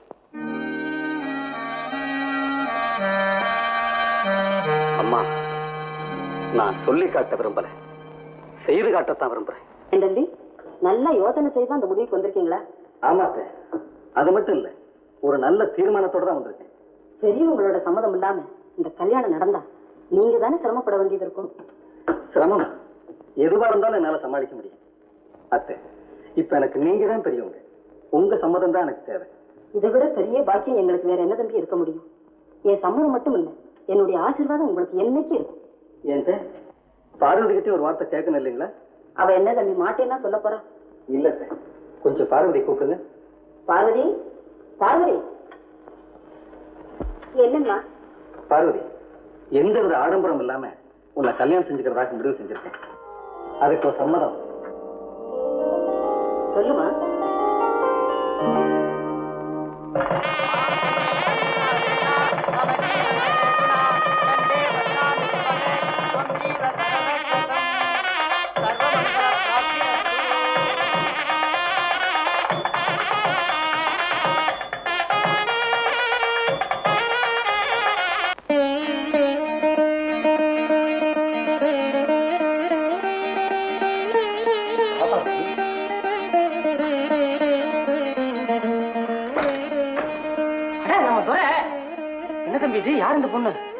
கல்யாணம் ஆயிடுச்சு மாமா. இவன் என் மனைவி. உன் மனைவியா? ஆமாம்மா. உங்க மருமக. எல்லா உரிமைகளையும் கொண்டாட இந்த வீட்டுக்கு வந்திருக்கா. யாரு கேட்ட இந்த கல்யாணத்தை பண்ணிக்கிட்ட? கல்யாணம் என் சொந்த விஷயம். மத்தவங்களை கேட்க வேண்டிய அவசியம் இல்லைன்னு நான் நினைக்கிறேன். சரி தம்பி. யாரையும் கேட்க வேண்டாம். நாங்கெல்லாம் உங்க கல்யாணத்தை பார்க்க வேண்டாம். நாங்க யாரு வெளியாள மாமன். இது எங்க அக்கா உன்னை பெத்த அம்மா அப்பா ஏட்டா துரை? உனக்கு என்னதான் துணிச்சல் இருந்தாலும் பெத்தவளை பெரியவங்க கிட்ட ஒரு வார்த்தை கூட கேட்காம உன் இஷ்டப்படி ஒரு பெண்ணை கல்யாணம் செய்துகிட்டு வந்து நிக்கிறியே இது உனக்கே நியாயமா இருக்கா? அம்மா என் மனசுக்கு பிடிச்சவளை நான் கல்யாணம் பண்ணிக்க விரும்புறேன்னு உங்களை நான் கேட்டிருந்தாலும் இந்த பொண்ணு தான் உங்களுக்கு தெரிஞ்சிருந்தா நீங்க நிச்சயம் சம்மதம் கொடுத்துருக்க மாட்டீங்க. அதனாலதான் நான் யாருக்குமே சொல்ல விரும்பல. அக்கா இப்ப புரிஞ்சு போச்சு. தெரியல நம்ம ராமுடைய கல்யாணத்துக்காக போட்டோல பார்த்தோமே அதேதான் இது லட்சுமியோட தங்கச்சி. என்ன?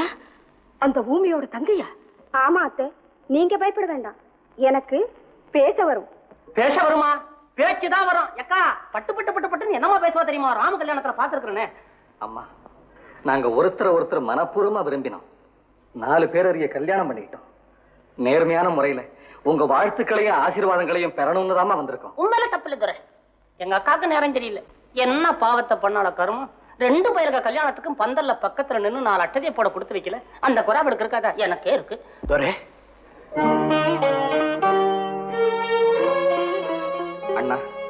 என்ன மன்னிச்சிடுங்க உங்களுக்கு கூட சொல்லாம நான் பார்வதியை கல்யாணம் செஞ்சுக்கிட்டு நம்பிக்கையோடு இந்த வீட்டுல குடும்பம் நடத்த வந்திருக்கேன். எங்களை ஆசீர்வாதம் பண்ணுங்க. ஏண்டா ராமு? நீ இந்த வீட்டுக்கு பெரியவன். நம்ம யாரையும் மதிக்காம இவ இப்படி செய்தது நியாயமான நீயே கேளேண்டா. அண்ணா என்னையே நம்பிட்டு இருந்த இந்த பெண்ணை கைவிடாம கல்யாணம் செஞ்சுட்டு வந்தது ஏன் தப்பா அண்ணா? நம்ம குடும்பத்துடைய அந்தஸ்து கட்டுப்பாடு பெரியவங்க சின்னவங்கங்கிற மரியாதை எதுவுமே தேவையில்லையா? இந்த வீட்டு முதல் மருமகளை வாழா வெட்டியா தள்ளி வச்சவன். அப்பவே நம்ம குடும்ப அந்தஸ்து குறையல. இன்னைக்கு நான் செஞ்சுக்கிட்டு வந்த இந்த கல்யாணத்தினாலதான் குறைய போகுது. இருந்தாலும் தம்பி நீ கொஞ்சம் யோசிச்சே செய்திருக்கலாம். நீங்க யோசிச்சா கல்யாணம் செஞ்சுக்கிட்டீங்க. அனுதாபப்படுறவங்களுக்கும் ஆத்திரப்படுறவங்களுக்கும் யோசிக்கிறதுக்கு நேரமே இருக்கிறது இல்லைன்னா தம்பி எப்படி நடந்தாலும் கல்யாணங்கிறது தெய்வீகமான சடங்கு கணவன் மனைவிங்கிறது புனிதமான உறவு. இத மறுக்கவோ மாத்தவோ எனக்கு மட்டும் இல்லை யாருக்குமே அதிகாரம் கிடையாது. நீங்க ரெண்டு பேரும் அமோகமா வாழணும். இதை தவிர நான் வேற என்ன சொல்ல போறேன்? நடந்தது நடந்து போச்சு. நானும் வாழ்த்திடுறேன். ரெண்டு பேரும் புத்தியோட நல்லா இருங்க. மாடி உன் புருஷருக்கான பொல்லாத ஆளு மகா கோபக்காரன் எல்லாத்தையும் மிரட்டுவான். அவனை நீ பொட்டி பாம்பா அடக்கணும். என்ன பண்ணுவீங்க எனக்கு தெரியாதுமா சுலபமா மாத்திருவேன் மாமா. இவர என்ன? இந்த வீட்டையே என்னால மாத்திட முடியும். அத்தை நாங்க ரொம்ப கலப்பா வந்திருக்கோம். காலையில இருந்து ஒண்ணுமே சாப்பிடல. கொஞ்சம் காஃபியும் டிஃபனும் மாடி கணிச்சிருங்களா அத்தான் வாங்க போவோம்.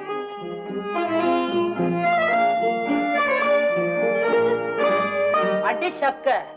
அக்கா வந்திருக்காளே சின்ன மருமக.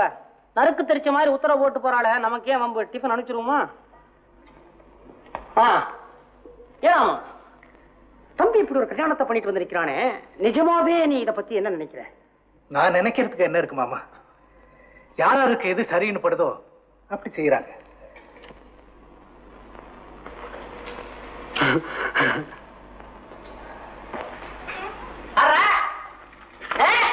யாரு யாரு சின்னமா தான் கூப்பிட்டு அனுப்பிச்சாங்க. ஓஹோ சின்ன என்னடா கன்றாவி எல்லாம் வரிசையா நிக்கிறீங்க? சின்னமா தான் எங்களை எல்லாம் மேல கூப்பிட்டு கும்பல் கூடாதீங்க வரிசையா நில்லுங்க அப்படின்னு சொன்னாங்க. நீங்களும் நின்னுட்டீங்க. கடவுளே பள்ளிக்கூட வாத்தியாரமாவா இருக்க வேண்டியவ வீட்டு மருமகளா வந்து என் பிராணனை வாங்குறா. தம்பிதரே! தம்பிதரே? என்னமாமா என்னப்பா இது விளையாட்டு? விளையாட்டு இல்ல மாமா. பார்வதி கூப்பிட்டு நிக்க வச்சிருக்கா ஏன்னு எனக்கு தெரியல. குழந்தை சொல்லிச்சா? எங்க குழந்தை? கூப்பிட. அப்ப ட்ரெஸ் பண்ணிட்டு இருக்கா கொஞ்சம் பொறுங்க வந்துருவா. அது வர்ற வரைக்கும் நான் இந்த வரிசையில நிக்கவா? சௌரியப்பட்டா நில்லுங்களேன். வேண்டா என்ன? ஒண்ணு இல்ல நீர். ஒண்ணு பாத்துருக்கிறியா என்ன? அண்ணாமலை இத்தனை நாள் சர்வீஸ்ல கைய கட்டி வெளிய நின்னுதுலடா. இப்ப நிக்கிறான். இத்தனை வருஷமா நாங்கெல்லாம் உங்க முன்னால கை கட்டி நின்னோம். நீங்களும் கொஞ்சம் நின்னுங்களேன். உங்களோட. என்னடா. எல்லாரும் வந்தாச்சா? வா குழந்தை. ஒருத்தர் ரெண்டு வயல காணோம் தகவல் சொல்லி அனுப்பிச்சிருக்கேன். வந்துருவானுங்க. மாமா இனிமே இந்த வீட்டு பொறுப்பெல்லாம் நான் ஏத்துக்கிறதா இருக்கேன். என்ன சொல்றீங்க? ஏத்துக்கிய. எதுக்கும்? அக்கா கிட்ட ஒரு வார்த்தை கேட்டுக்கிய. நான் யாரையும் கேட்க தயாரா இல்ல. ஆச்சி நீ எப்படிங்கிறங்கிற? செய்ய. நீ தானே இந்த வீட்டு சமைக்காரன் வீட்டுக்கு வரும்போது சமயக்காரன் இல்ல தண்ணீர் பந்தல மோர் கொடுத்துக்கிட்டு இருந்தான். நான் தான் கொண்டாந்து சமயக்காரன் ஆக்குனேன். இனிமே என்னென்ன சமைக்கணும்? என்னென்ன சாமாங்க வாங்கணும்னு என்ன கேட்கணும்? புரிஞ்சுதா? அப்பா இனிமே எங்கிட்ட வராதப்பா. எல்லாம் அங்கதான். அம்மா குழந்தை இந்த தடியன் தான். கடையில இருந்து சாமான் எல்லாம் வாங்கி போடுவான். அவனுக்கு ஏதாவது சொல்ல போறியா? கடைக்கு போறதுக்கு முன்னாடி லிஸ்ட் கொண்டு வந்து என்கிட்ட காட்டணும். இது பழசு. கடையில இருந்து வந்ததுக்கு அப்புறம் வாங்கின சாமான்லாம் ஏன் முன்னாடி கொட்டி அளக்கணும். இது புதுசு. குழந்தை நீ ரொம்ப கெட்டிக்காரி. நிக்கிற வேலைக்காரி. அதுக்கு என்ன வச்சிருக்கிற? இந்தாமா எனக்கு தெரியாம இந்த வீட்டை விட்டு ஒரு தூசி வெளியே போக கூடாது உள்ள வரக்கூடாது. அம்மா இன்னையில இருந்து பெருக்கிறத நிப்பாட்டு ஏம்மா எங்கதி என்ன? எப்பவும் போல கணக்கம் தானே? கொஞ்ச நாள் இருங்க தேவையான்னு பார்த்து சொல்றேன். பார்த்து சொல்ல. ஏடா அண்ணாமலை? உன்னை கீழே எல்லாம் தேடிக்கிட்டு இருக்க இங்க என்னடா பண்ணிட்டு இருக்க? கீழே தேடாத நான் மேல வந்தாச்சு. உத்தியோக உயர்வு திண்ணை விட்டு மாடிக்கு வந்துட்டேன். அக்கா இந்த வீட்டு முறையெல்லாம் மாறிட்டே வருது. மாத்துறது சின்ன மருமக. உனக்கு எதாச்சும் தெரியுமா? என்னடா வளர்ற அப்படியே மாறிடுமா? இல்ல மாத்த விட்டுடுவேனா? ஏன்டா நாம பேசாம நிக்கிற? என்னைக்கு இருந்தாலும் பெரியவங்க பொறுப்பை சின்னவங்க ஏத்துக்கிட்டு தானமா தரணும் அவங்க ஆசைப்படுறாங்களோ என்னவோ இதுல நான் என்னமா சொல்ல முடியும்? நியாயமா இந்த வீட்டு பெரிய மருமக இந்த பொறுப்புகளை ஏத்துக்கிட்டு இருக்கணும். அவ்வளவுதான் ஒதுக்கி வச்சாச்சு. நானும் ஏன் என் ஸ்தானத்தை விட்டு கொடுக்கணும்? ஏண்டா துரை நேத்து வந்தவ மாதிரியா பேசுறா இவ? அம்மா தயவு செஞ்சு இதெல்லாம் ஏன் காதல போடாதீங்க. அக்கா அவனை தொந்தரவு பண்ணாத. புருஷனுக்கு உண்டான உரிமைகளை அவன் எழுதி வாங்கிட்டா கையெழுத்து போட்டு நிக்கிறான் பாவம் என்ன செய்வான்? எனக்கு நியாயம்னு பட்டதான் நான் செய்ய விரும்புறேன். என் இஷ்டம் போல நடந்தா உங்க எல்லாருக்கும் நல்லது. நான் அவ்வளவுதான் சொல்லுவேன் வாங்கத்தான் வெளியே போங்க போமே அக்கா ஒண்ணுமே சொல்லாம விருன்னு போகுது. அது வர வரைக்கும் நம்ம இப்படியே வரிசையில நிக்க வேண்டியதானா இல்ல கலையலாமா? போடா முட்டாள். அவ கூப்பிட்டாளா? இவங்க எல்லாம் வந்து நிக்கிறாங்களா? போய் வேலையை கவனிக்கடா போங்க போங்க போங்க. அக்கா சத்தம் பெருசா இருக்குது. முறையெல்லாம் பழசுதான். மறுபடியும் மாற்றம் வந்துச்சுன்னா வரிசையில நிப்போம்.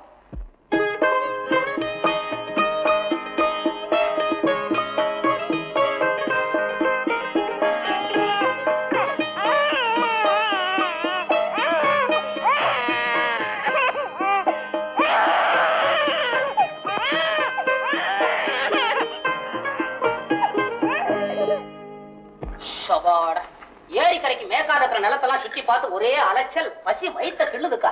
அதான் இலையில உட்கார்ந்து இருக்கிறிய காரணத்தை ஏன் சொல்லிக்கிட்டு இருக்க? வேணுங்கிறது கேட்டு சாப்பிட. ஏய் வாயண்டா இவன் ஒருத்தன். சீக்கிரமாடா அக்கா சொல்ல மறந்துட்டேன். இந்த சிவப்பு குட்டி இல்ல யாரா சிகப்பி? அதான் அந்த கத்திரிக்காய் தோட்டத்துல வேலை பார்க்கல. திடீர்னு பத்திரிக்கை கொண்டு வந்து நீட்டுறா. என்னடி விளையாடுற? ஏதிரி உனக்கு கல்யாணம்ங்கிற கலப்பு திருமணமா? ரெண்டே நாள் தான் வண்டியில ஏறி அடிச்சான் மூணாவது நாள் பிடிச்சு விட்டான். இந்த உலகம் உருப்பிடுங்கிற. ஐயோ எது நடக்கும் எது நடக்கும்னு சொல்லவே முடியல. பச்சை வயித்த கழுதுங்கிற சோத்த போடாம என்ன பலகாரத்தை வைக்கிற? இன்னைக்கு சோறு கிடையாதுங்க. வெறும் பலகாரம் தான். பல்ல கழட்டி போடுவேன். உனக்கு பலகாரம் பிடிக்குங்கிறதால எங்களுக்கு சோறு கிடையாதா? யார கேட்டா இதை செஞ்ச?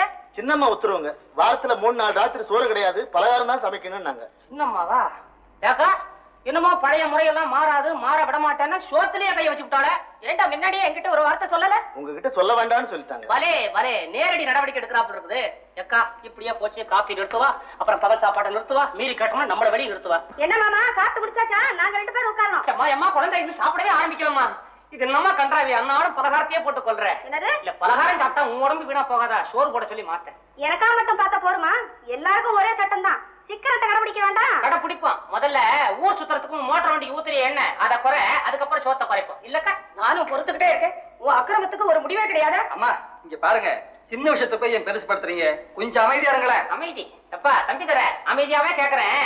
இந்த அண்ணாமலைக்கு ஒரு சின்ன சந்தேகம். என்ன? இந்த வீட்டுக்கு எஜமானி யாரு? இதா அதா ஏது எஜமானி யாருங்கிறத பத்தி பிரச்சனை இல்ல. பழைய சம்பிரதாய முறையெல்லாம் கண்டிப்பா மாறித்தான் ஆகணும். உண்மையில சொல்லி குத்தம் இல்லாமா டவுன்ல மேடையில எதையாவது பேசி போடுறாங்க. நீ யாருக்கு தெரியாம மோட்டர் வண்டியில வந்து எதையாவது கேட்டு போடுற? நாங்க போடுறோம் அவஸ்தை. ஆரம்பத்துல சிரமமா தான் இருக்கும். அது போக போக தான் சுகம் தெரியும். வாங்கத்தான். நீங்க முதல்ல சாப்பிட்டு முடிங்க. அது வரைக்கும் நாங்க ஹால்ல உட்காந்துருக்கோம் செய்ய செய்ய செய்ய செய்ய. கதமான முடிச்சிருவோம். இல்லன்னா குச்சி எடுத்துட்டு வந்து பக்கத்துல உட்காந்துக்குவா. ஒரு காலத்துல அக்கா சிவகாமினா வீடு ஆளரும் இப்ப பார்வதினா ஊரே ஆளுறது போடா!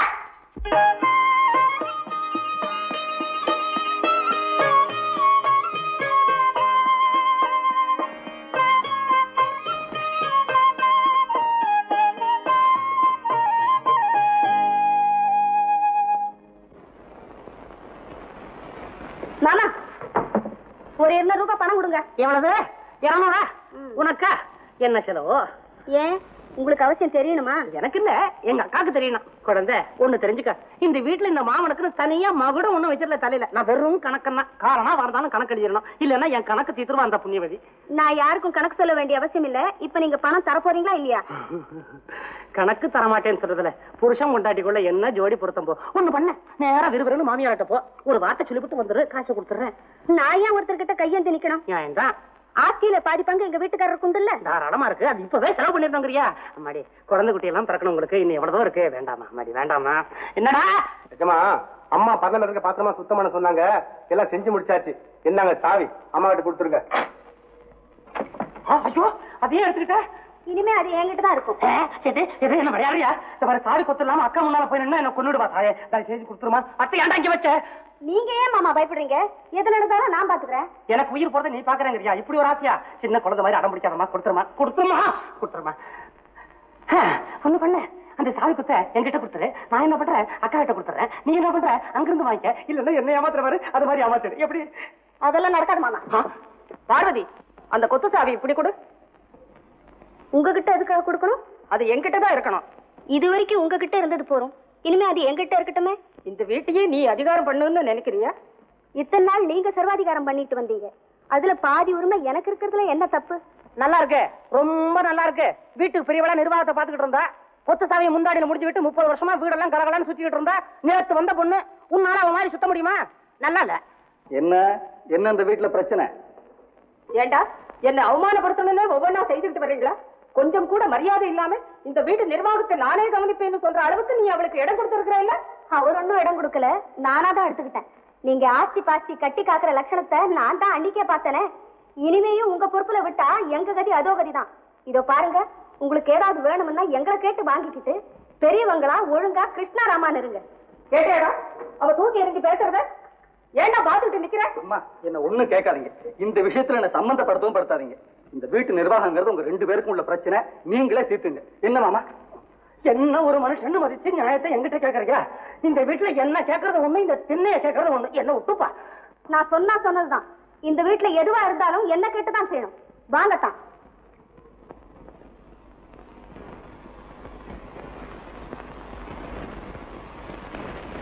பலே பலே பேஷ். எக்கா சாவி கொத்து மாடி ஏறி போயிருச்சு. என்ன நிலைமை? இனிமே என் கணக்கு எங்க? இங்கயா? அங்கயா? சொல்லங்கா எனக்கு ஒரு அளவு புரியல. அண்ணாமலை இதை நான் இப்படியே விட போறது இல்ல ராமகிட்ட பேசி இதுக்கு ஒரு முடிவு செய்யத்தான் போறேன். இவளுக்கு இது பத்தாது. ஏன்னா தான் தான் தாங்குற மாதிரி தண்ணியை தெளிச்சு விடுவாளா? வளர்த்திக்கிட்டே. நமக்கு ஏன்பா வம்பு நான் தின்ன ஏறேன் தண்ணி தயாரானே சுமட்டிலே மலர்மேனே சொந்தப்படுத்திக் கொள்ளவே மது வந்தங்கையாடா கோதை பூங்கோழியாடா கொஞ்சம் கிளிக்கடா கோகிலவானே பஞ்சனமரதம் வாணி அக்கா இங்க வாக்கா எங்கக்கா இதுங்களை காணா? யாரடா கேக்குற? அதான்க்கா தம்பி துறையும் சின்ன மருமகளும் எங்க காணா? என்கிட்ட கேட்டா எனக்கு என்ன தெரியும்? உங்ககிட்டயே சொல்லடியா? பேஷ். ஆமா நாகரிக தம்பதிகள் இஷ்டத்துக்கு போறாங்க வர்றாங்க ஊர் சுத்துறாங்க. மத்தவங்கள பத்தி நமக்கு தான் விடு. அக்கா சாயந்தரம் ஆனதான் நம்ம ஊர் ஜனங்களுக்கெல்லாம் என்ன பொழுதுபோக்குங்கிற? நம்ம பய பொஞ்சாதிய மோட்டார் சைக்கிள் பின்னால உட்காந்து வச்சுக்கிட்டு ஊர் சுத்த கிளம்புறத வேடிக்கை பாக்குறதான் அவங்கள பத்தி என்கிட்ட என்னடா பேசு இருக்கும் போதுதான் பேச முடியல. அவங்க இல்லாத போதாவது பேசுவோமே. பா நம்ம பயமேலையும் தப்பு இல்ல. யாருக்கும் தெரியாம தான் கிளம்புறான். நம்ம குடும்பத்துக்கே சத்துரு இந்த மோட்டார் சைக்கிள் வண்டி தான் பட்ட பட்ட படம் சத்தத்தை கிளப்பி நாங்க கிளம்பியாச்சு. எல்லாரும் வந்து வேடிக்கை பாருங்கன்னு ஊரையே கூட்டிடுது நம்ம என்ன பண்ணலாம்? எதையும் என் காதல் போடாத அண்ணாமலை. அக்கா எப்படி எல்லாருக்கும் வேண்டி வேணும் இப்படி இருக்கிற? இது இந்த அண்ணாமலை பார்க்க வேண்டாம். வந்துட்டா. வந்துட்டா சின்ன மருமக வந்துட்டா. வா தம்பி அம்மாடி வா.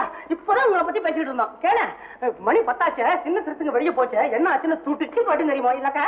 ஏன் தம்பி இவ்வளவு நேரம்? ஒண்ணு இல்ல மாமா. வண்டி தகராற பக்கத்து ஊர்ல புதுசா ஒரு டூரிங் டாக்கிஸ் வந்திருக்குல்ல அதுல ஒரு படம் பார்த்துட்டு வரேன் ஐயோ படம்னு எனக்கு ரொம்ப பிடிக்குமே. என்னையும் கூட கூட்டி போக கூடாது ஆமா உங்க வண்டியில ரெண்டு பேரும் தானே இடம். தம்பி டென்ட்ல என்ன படம் வர்றான் சாந்த சக்குபாய் எப்படி இருக்கிற? குழந்தை நல்லா இருந்துச்சா? மாமா ரொம்ப பிரமாதம். கதை என்னன்னு சொல்ல கேட்போம் மாமா. மாமா அந்த கதையில ஒரு மாமியார்காரி ஆ, மருமகளை ஆட்டி வைக்கிற பாருங்க. அக்கா நம்ம ஊர்க்காரன் படம் எடுத்துருக்கான் போட்டுருக்க அப்புறம் குழந்தை? அப்புறம் என்ன மாமா? கடைசி வரைக்கும் ஒரே கொடுமை தான் அந்த பைத்தியக்கார பொண்ணு எல்லாத்தையும் சகிச்சிட்டு இருக்கா. அந்த நிலைமையில நான் மட்டும் இருந்திருந்தா? கதையே மாறி இருக்கும் பேரும் மாறி இருக்கும். மாமியாருக்கு சாந்த சக்குபாயின்னு பேர் வச்சிருந்திருக்கணும். இல்லக்கா வேண்டாமல சரி சரி சரி ரொம்ப பச்சோட வந்திருப்பீங்க போல இருக்கு. சட்டு போட்டு சாப்பிடுங்களேன். மாமா நாங்க ரொம்ப வசதியா இருக்கோம். எதுக்கும் சாப்பாட்ட மாடிக்கு நான் அனுப்புறேன் குழந்தை. உனக்கு இல்லாத சோறா? போ அவரையும் கூட்டிட்டு போ. போமா அக்கா ஒன்னும் பேசிக்கிற மாதிரி இல்ல. எனக்கு என்ன தோணுது? இப்படி மாட்டிக்கிட்டு முடிக்கிறத காட்டிலும் பேசாம ரெண்டாவது மருமகளையும் ஊம பொண்ணாவே பார்த்து கட்டி வச்சிருந்திருக்கணும். அப்ப தெரியல தப்பு விட்டுட்டோம் முடிக்கிறோம் என்னமோ தம்பி நீங்க அடிக்கடி இங்க வந்து போறது எங்க மனசுக்கு எவ்வளவோ சந்தோஷமா இருக்கு. லட்சுமி கூட உங்க மூலமா தனக்கு எப்படியும் விடிவு காலம் பிறக்குங்கிற நம்பிக்கையோட தான் இருந்துகிட்டு இருக்கா. அத்தை அண்ணி மேல அன்பு பாசம் பச்சாதாபம் எல்லாமே அண்ணனுக்கு இருக்கு. தான் மனைவியை பிரிஞ்சு தான் மகனை கூட தான் பார்க்காம இருக்கிறத நினைச்சு நினைச்சு அவர் வருத்தப்படாத நாளே கிடையாது. ஆனா அம்மாவுடைய குணம் தான் இன்னும் மாறல. அதுக்காக அதீரியப்பட வேண்டியதில்லை. அண்ணி அந்த வீட்டுல கொண்டு போய் வச்சு அவங்க சந்தோஷமா வாழ்றதை பார்க்கணும்னு தான் நான் தினமும் முயற்சி பண்ணிட்டு இருக்கேன். இன்னும் கொஞ்ச நாள் தான் அத்தை. அப்புறம் எல்லாமே சரியா போயிடும். அக்கா உன் மகன் ரொம்ப குறும்புக்காரனா இருக்கான். இவனை எடுத்துட்டு போய் நானே வளர்க்கலாம்னு இருக்கேன். நீ என்ன சொல்ற?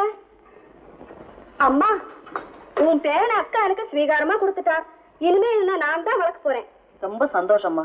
அவன் இங்க இல்லைன்னா அவங்க அப்பாட்ட வளர போறான். அதுல எங்களுக்கெல்லாம் பெருமை தானம்மா? அத்தா இவனோட அம்மாவும் பாட்டியும் எனக்கு உத்தரவு கொடுத்துட்டாங்க. இவனை நம்ம வீட்டுக்கு கொண்டுட்டு போலாமா? ம். ஏடா கண்ணா எங்க கூட வர்றியா? இங்க பாரு அங்க வந்தீங்கன்னா உங்க அப்பா பார்க்கலாம் இன்னொரு பாட்டியை பார்க்கலாம். என்ன? ஏன் பார்வதி? குழந்தைய நம்ம நிஜமாவே எடுத்துட்டு போனா என்ன? நல்லா இருக்க. நான் ஏதோ விளையாட்டுக்கு சொன்னா இவனை பிரிஞ்சு எங்க அக்காவால ஒரு நிமிஷம் கூட இருக்க முடியாது. இல்ல பார்வதி எனக்கு இப்போ ஒரு யோசனை தோணுது. கொஞ்ச நாளைக்கு குழந்தை நம்ம கூட இருந்ததுன்னா எங்க அம்மா மனசை மாத்துறது ரொம்ப சுலபமா இருக்கும்னு நினைக்கிறேன். அதுக்கப்புறம் உங்க அக்கா கூட நிரந்தரமா அங்கேயே வந்து தங்கிடலாம். இங்க பாரு குழந்தை நம்ம எடுத்துக்கிட்டு தான் போறோம். அண்ணிட்ட சொல்லிடு. சரி அக்கா.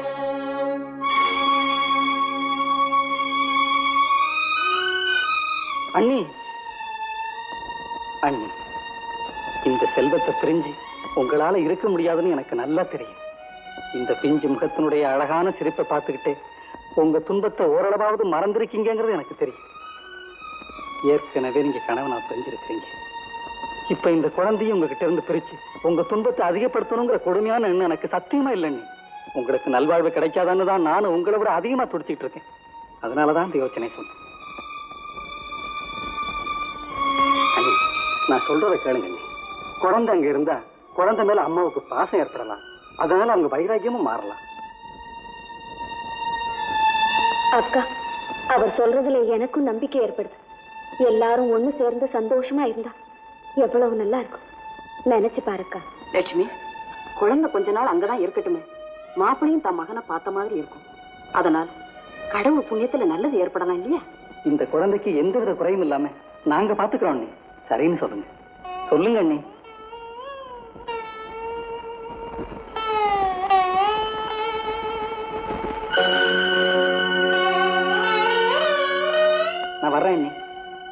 வர்றேன் வரட்டுமா வரேம்மா.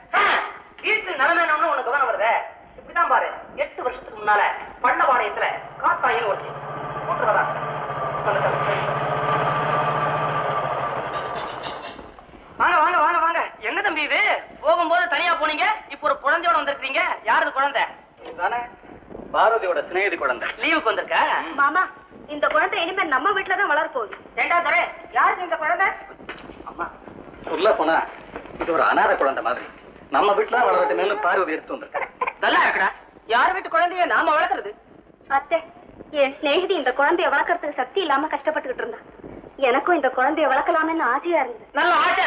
நாளைக்கே இந்த வீட்டுல எத்தனை குழந்தை வளர காத்துட்டு இருக்கு. இல்லக்கா. நீங்க யாரும் கவலைப்பட வேண்டாம். இந்த குழந்தைய எப்படி ஜாகிரதையா பாத்துக்கணும்னு எனக்கு நல்லா தெரியும். வாங்கத்தான் ஏண்டா தர? கேள்வி முறையே கிடையாதா? நீ இல்லாம அவளுக்கு வேற யாரா பத்தி சொல்ல முடியும்? அம்மா ஏதோ ஆசைப்பட்டா குழந்தை எடுத்து வந்திருக்கா. இதையும் நீங்க பெருசுப்படுத்துறீங்க. விடுங்க.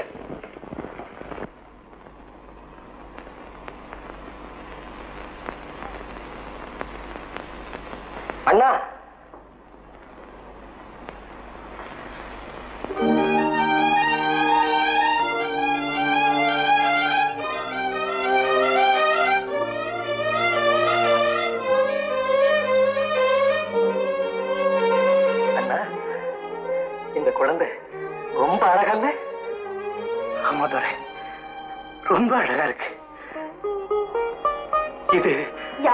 குழந்தை தெரியுமா? தெரியும். இது ஏன் குழந்தை? இல்லையா துரை? இல்லையா பார்வதி? சொல்லுங்க.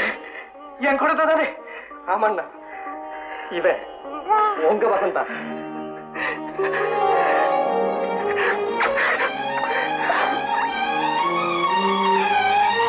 அத்தா இவன் பிறந்ததுல இருந்து நீங்க பார்த்ததே இல்ல. இவன் உங்க மகன் நீங்க எப்படி தெரிஞ்சுக்கிட்டீங்க? ஆச்சரியமா இருக்க. இதுல என்ன ஆச்சரியம் பார்வதி உறவோட கலந்தவங்களையும் உயிரோட இணைஞ்சவங்களையும் தெரிஞ்சுக்கிறதுக்கு தானே? கடவுள் பந்தம் பாசங்கிற ரெண்டு உணர்ச்சிகளை கொடுத்திருக்கான். இந்த குழந்தையை பார்த்த உடனே எனக்கு இனம் தெரியாத பூரிப்பு ஏற்பட்டது. இதோ உன்னுடைய செல்வம் என் மனசாட்சி எனக்கு உணர்த்தியது. தம்பி என் கண்மணி இவ்வளவு சீக்கிரம் சந்திச்சு வாரி அணைச்சு முத்தமிடக்கூடிய சந்தர்ப்பத்தை எனக்கு தந்ததுக்கு உனக்கு எப்படி நன்றி சொல்றதுன்னு தெரியாது. அண்ணா மனைவிக்கு கிடைக்காத பாக்கியம் மகனுக்காக கிடைக்கட்டுமே. அல்லல் பட்டுத்தான் வாழ்ந்தாகணும்னு அன்னைக்கு ஏற்பட்ட தலையெழுத்து. அவங்க பெற்ற இந்த குழந்தைக்கு ஏற்படக்கூடாதுன்னு நினைச்சுதான் அவன் உரிமையோட வளர வேண்டிய இந்த இடத்துக்கு அவனை நாங்க கொண்டு வந்திருக்கோம்.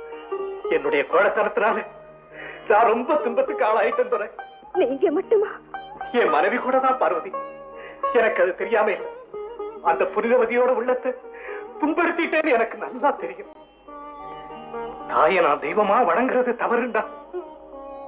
எனக்கு இந்த தண்டனை தேவை போனதெல்லாம் போகட்டும் அண்ணா. இந்த குழந்தைய வச்சாவது அம்மாவுடைய மனசை மாத்துறதுக்கு நம்ம முயற்சிக்கணும். துரை அப்படி ஏதாவது நடந்தா இந்த வீடுதான் என்னுடைய சொர்க்கம். ஆனா இது உங்களுடைய குழந்தை. அம்மாவுக்கு கொஞ்ச நாள் தெரியாம இருக்கிறது நல்லது. ஆமாண்ணா. உண்மை அவங்களுக்கு தெரிஞ்சா எங்க இந்த குழந்தை மேலேயும் அவங்களுக்கு வெறுப்புணர்ச்சி ஏற்பட்டுடுமோன்னு பயந்து தான் சொல்றேன். என் குழந்தைய குஞ்சு குலாவுற உரிமையை என் உள்ளத்து உணர்ச்சிகளை கட்டுப்படுத்த வேண்டிய நிலைமையில இருக்கு பரவாயில்ல துரை. சந்தோஷமான குடும்ப வாழ்க்கைக்காக நான் எதையும் செய்ய தயாரா இருக்கேன்? இன்னும் கொஞ்ச நாள் தானே. அண்ணி வந்ததுக்கு அப்புறம் எல்லாமே சரியா போயிடும். குழந்தை எப்படி கொடுங்க?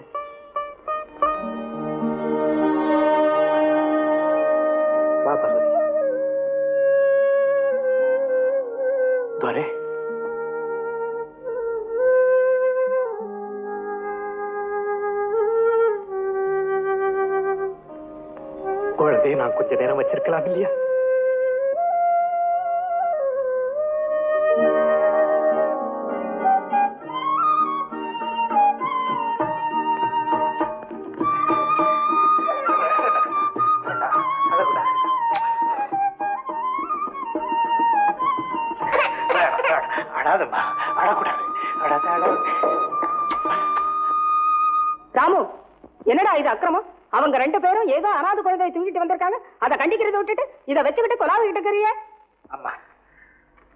குழந்தைங்கிறது தெய்வ திருஷ்டி அது அனாதே அது இதுன்னு சொல்லி என் அம்மாவை இருக்கணும். நல்லா இருக்குடா. இந்த வீட்ல குலம் தெரியாம ஜாதி தெரியாம எந்த குழந்தை வேணும்னாலும் வளரலாமா? அம்மா இந்த குழந்தைய அவங்க கொண்டு வந்தாங்க. அழகா இருந்தது. அதனால நீ துறைய எதையுமே கேட்காம இப்படியே விட்ட?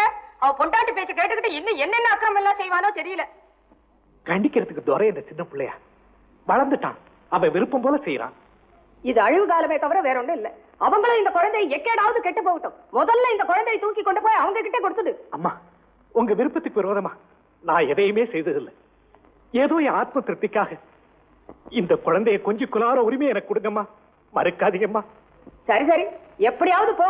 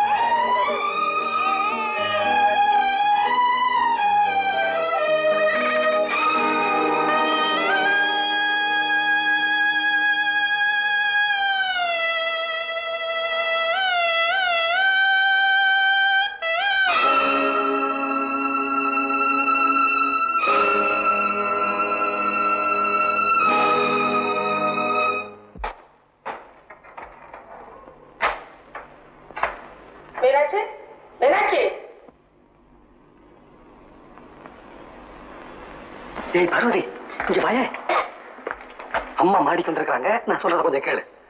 என்னவா? இங்க வா இங்க வா அப்படி. எப்படி? அடாடாடா, நான் காரணமா தான் சொல்றேன் நான் சொல்றத கொஞ்சம் கேளு சீக்கிரம் சீக்கிரம் ஏடி மீனாட்சி நானும் நாலஞ்சு நாளா சொல்லிட்டே இருக்கேன் இது எல்லாத்தையும் சுத்தப்படுத்தி வையன்னு உனக்கு கொஞ்சம் கூட பொறுப்பு இல்லையே இந்த பீரோல இருக்கிறது எல்லாத்தையும் சுத்தப்படுத்தி கொண்டா இவன் பழகணுமே பரிதாபமா இருக்குங்க ஆஹா. சரி சரி அந்த பொறுப்பை நானே இப்ப எடுத்துக்கிறேன் ஆரம்பி ஆரம்பி ஆரம்பிச்சிட்டாடா ஆரம்பிக்க உன்னதாண்டா இப்ப அழுகைய நிறுத்த போறியா இல்லையா சே சே சே, சே சே. எவ்வளவு பெரிய தொல்லையா போச்சே என்னம்மா இது? குழந்தை இப்படி ஒரேடி அழுதுகிட்டே இருக்கு. அழுது தொலைகட்டுமே அத பத்தி நமக்கு என்னடி? உன் வேலையை பாரு. எல்லாத்தையும் எடுத்துட்டு போ. நல்லா இருக்கேன்னு அழுத்துக்கிறது குழந்தைய சமாதானப்படுத்த தெரியணும். சும்மா இப்படி சத்தம் போட்டுக்கிட்டு இருந்தா என்ன பிரயோஜனம்? ம். ஏன் உங்க வீட்டுல தான் நாலஞ்சு வேலைக்காரங்க இருக்காங்களே. அவங்களை யாரையாவது கூப்பிட்டு இந்த அழுமூச்சிய பாத்துக்க சொல்லுங்க. ஆஹா, அவங்களுக்கு வேற வேலை ஒண்ணு இல்லையா?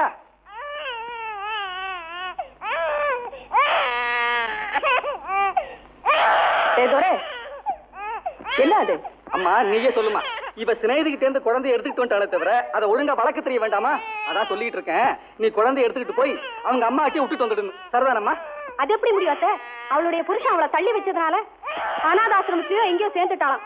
இப்ப இவனை கொண்டு விடணும்னா நடுத்தரவு தான் விடணும். நடுத்தெருவுல விடுறதா? நல்லா இருக்கு நீ சொல்றது. பார்வதி இவனோட அழகு யார் சேர்க்கிறதா நாலு அறை அதெல்லாம் போல் இருக்கு. பார்வதி அந்த குழந்தைய எப்படி கொண்டா? கொடுத்துட்டு குழந்தை அழுதா? அதுக்கு என்ன அர்த்தம்? அதுக்கு ஆகாரம் சாப்பிட வேலையோ என்னவோ? அதை புரிஞ்சுக்காம ரெண்டு பேரும் இப்படி சண்டை பிடிக்கிறீங்களே குழந்தைங்க கிட்ட எப்பவுமே அன்பா பழகணும். மீனாட்சி குழந்தைங்க கொஞ்சம் பால் கொண்டா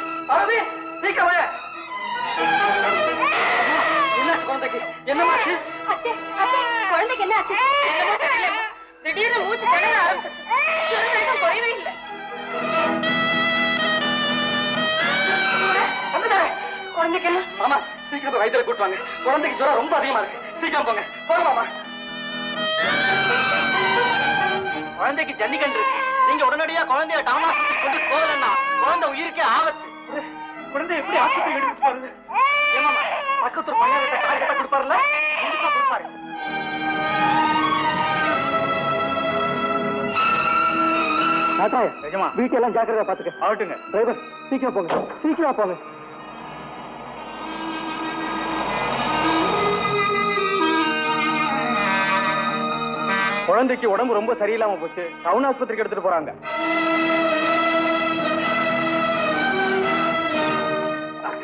ராத்திரில இருந்து குழந்தைக்கு காய்ச்சலா இருக்கு. ராத்திரி ரெண்டு மணிக்கு மேல ஜுரவேக அதிகமாகி மூச்சு விடவே திணறுது. நீங்க தான் எப்படியாவது குழந்தையை காப்பாத்தணும் டாக்டர்.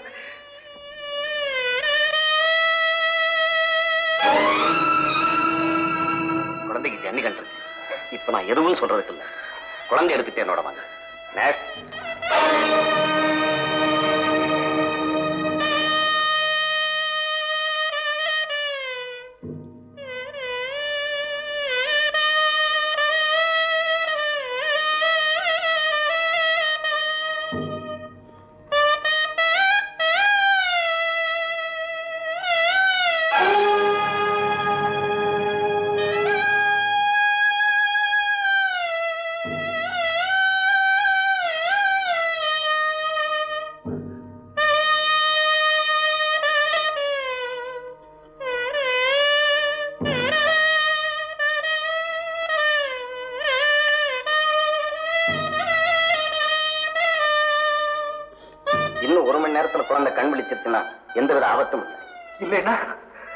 நான் சொல்றதுக்கு இல்லை.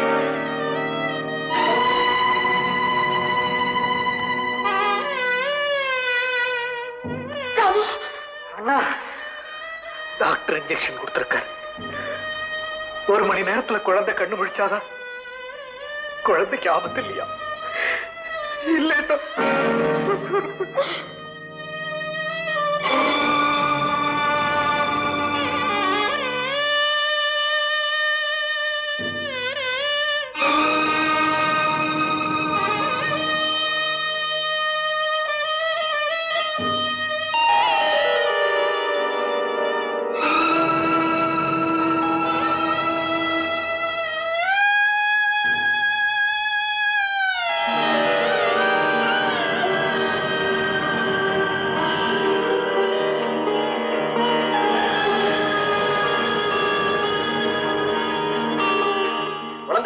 நீங்க நீங்க குழந்தைய பார்க்கணும்.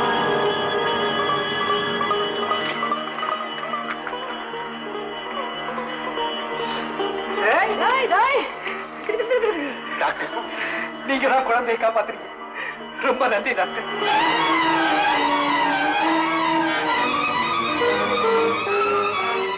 என்னம்மா சொல்ற? ஒண்ணும் புரியலையே.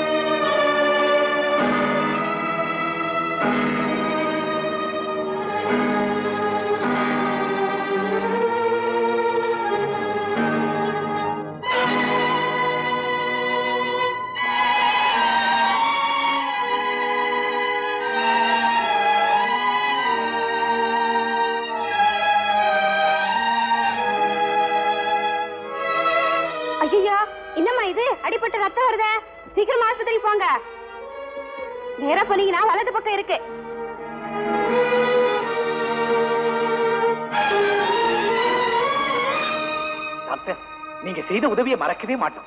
நாங்க வர்றோம் டாக்டர். ரொம்ப நன்றி டாக்டர்.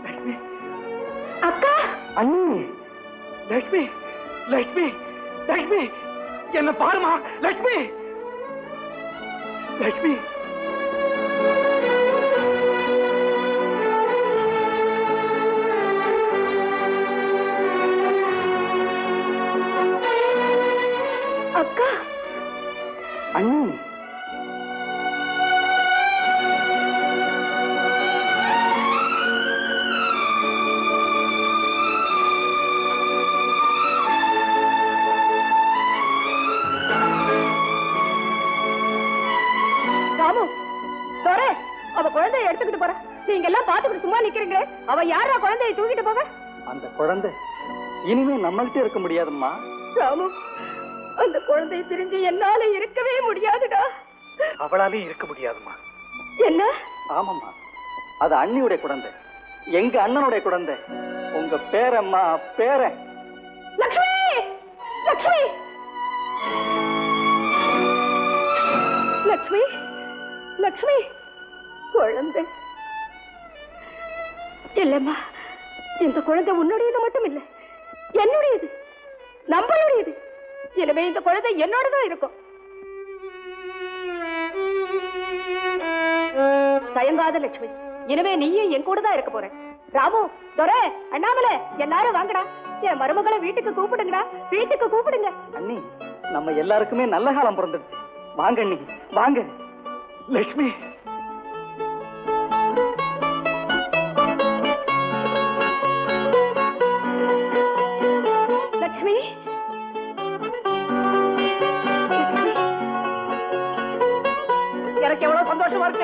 எம்மாடி பெரிய மகளே லட்சுமி மாமா வீட்டுக்கு போலாம். தபாரு பாரு உன்ன நடத்தி கூட்டி போவாட்டா கார் கூட இருக்கிறான் வாங்க வாங்க. பலே பலே. ஆஹா ஆஹா குடும்பம்னா எப்படி இல்ல இருக்கணும். மாமியார் மருமகளுக்கு அலங்காரம் செய்யறதும் மருமக மாமியாருக்கு பணிவிட செய்யறதும் அடாடாடாடாடா இத பார்க்கும்போது எனக்கு ஒண்ணு கவனத்துக்கு வருது. எட்டு வருஷத்துக்கு முன்னால என்னாச்சு? இருங்க சொல்றேன். உசிலம்பட்டியில மாட்டு சந்தை. அன்னைக்கு செவ்வாய்க்கிழமை. ஏன்னா அந்த ஊர்ல செவ்வாய்க்கிழமை தானே சந்தை. அதுக்கு முந்தின நாள் திங்க கிழமை தான் சந்தை இல்லையா? எல்லாம் உத்தரமட்டில தான். என்னாச்சு? ஆச்சு?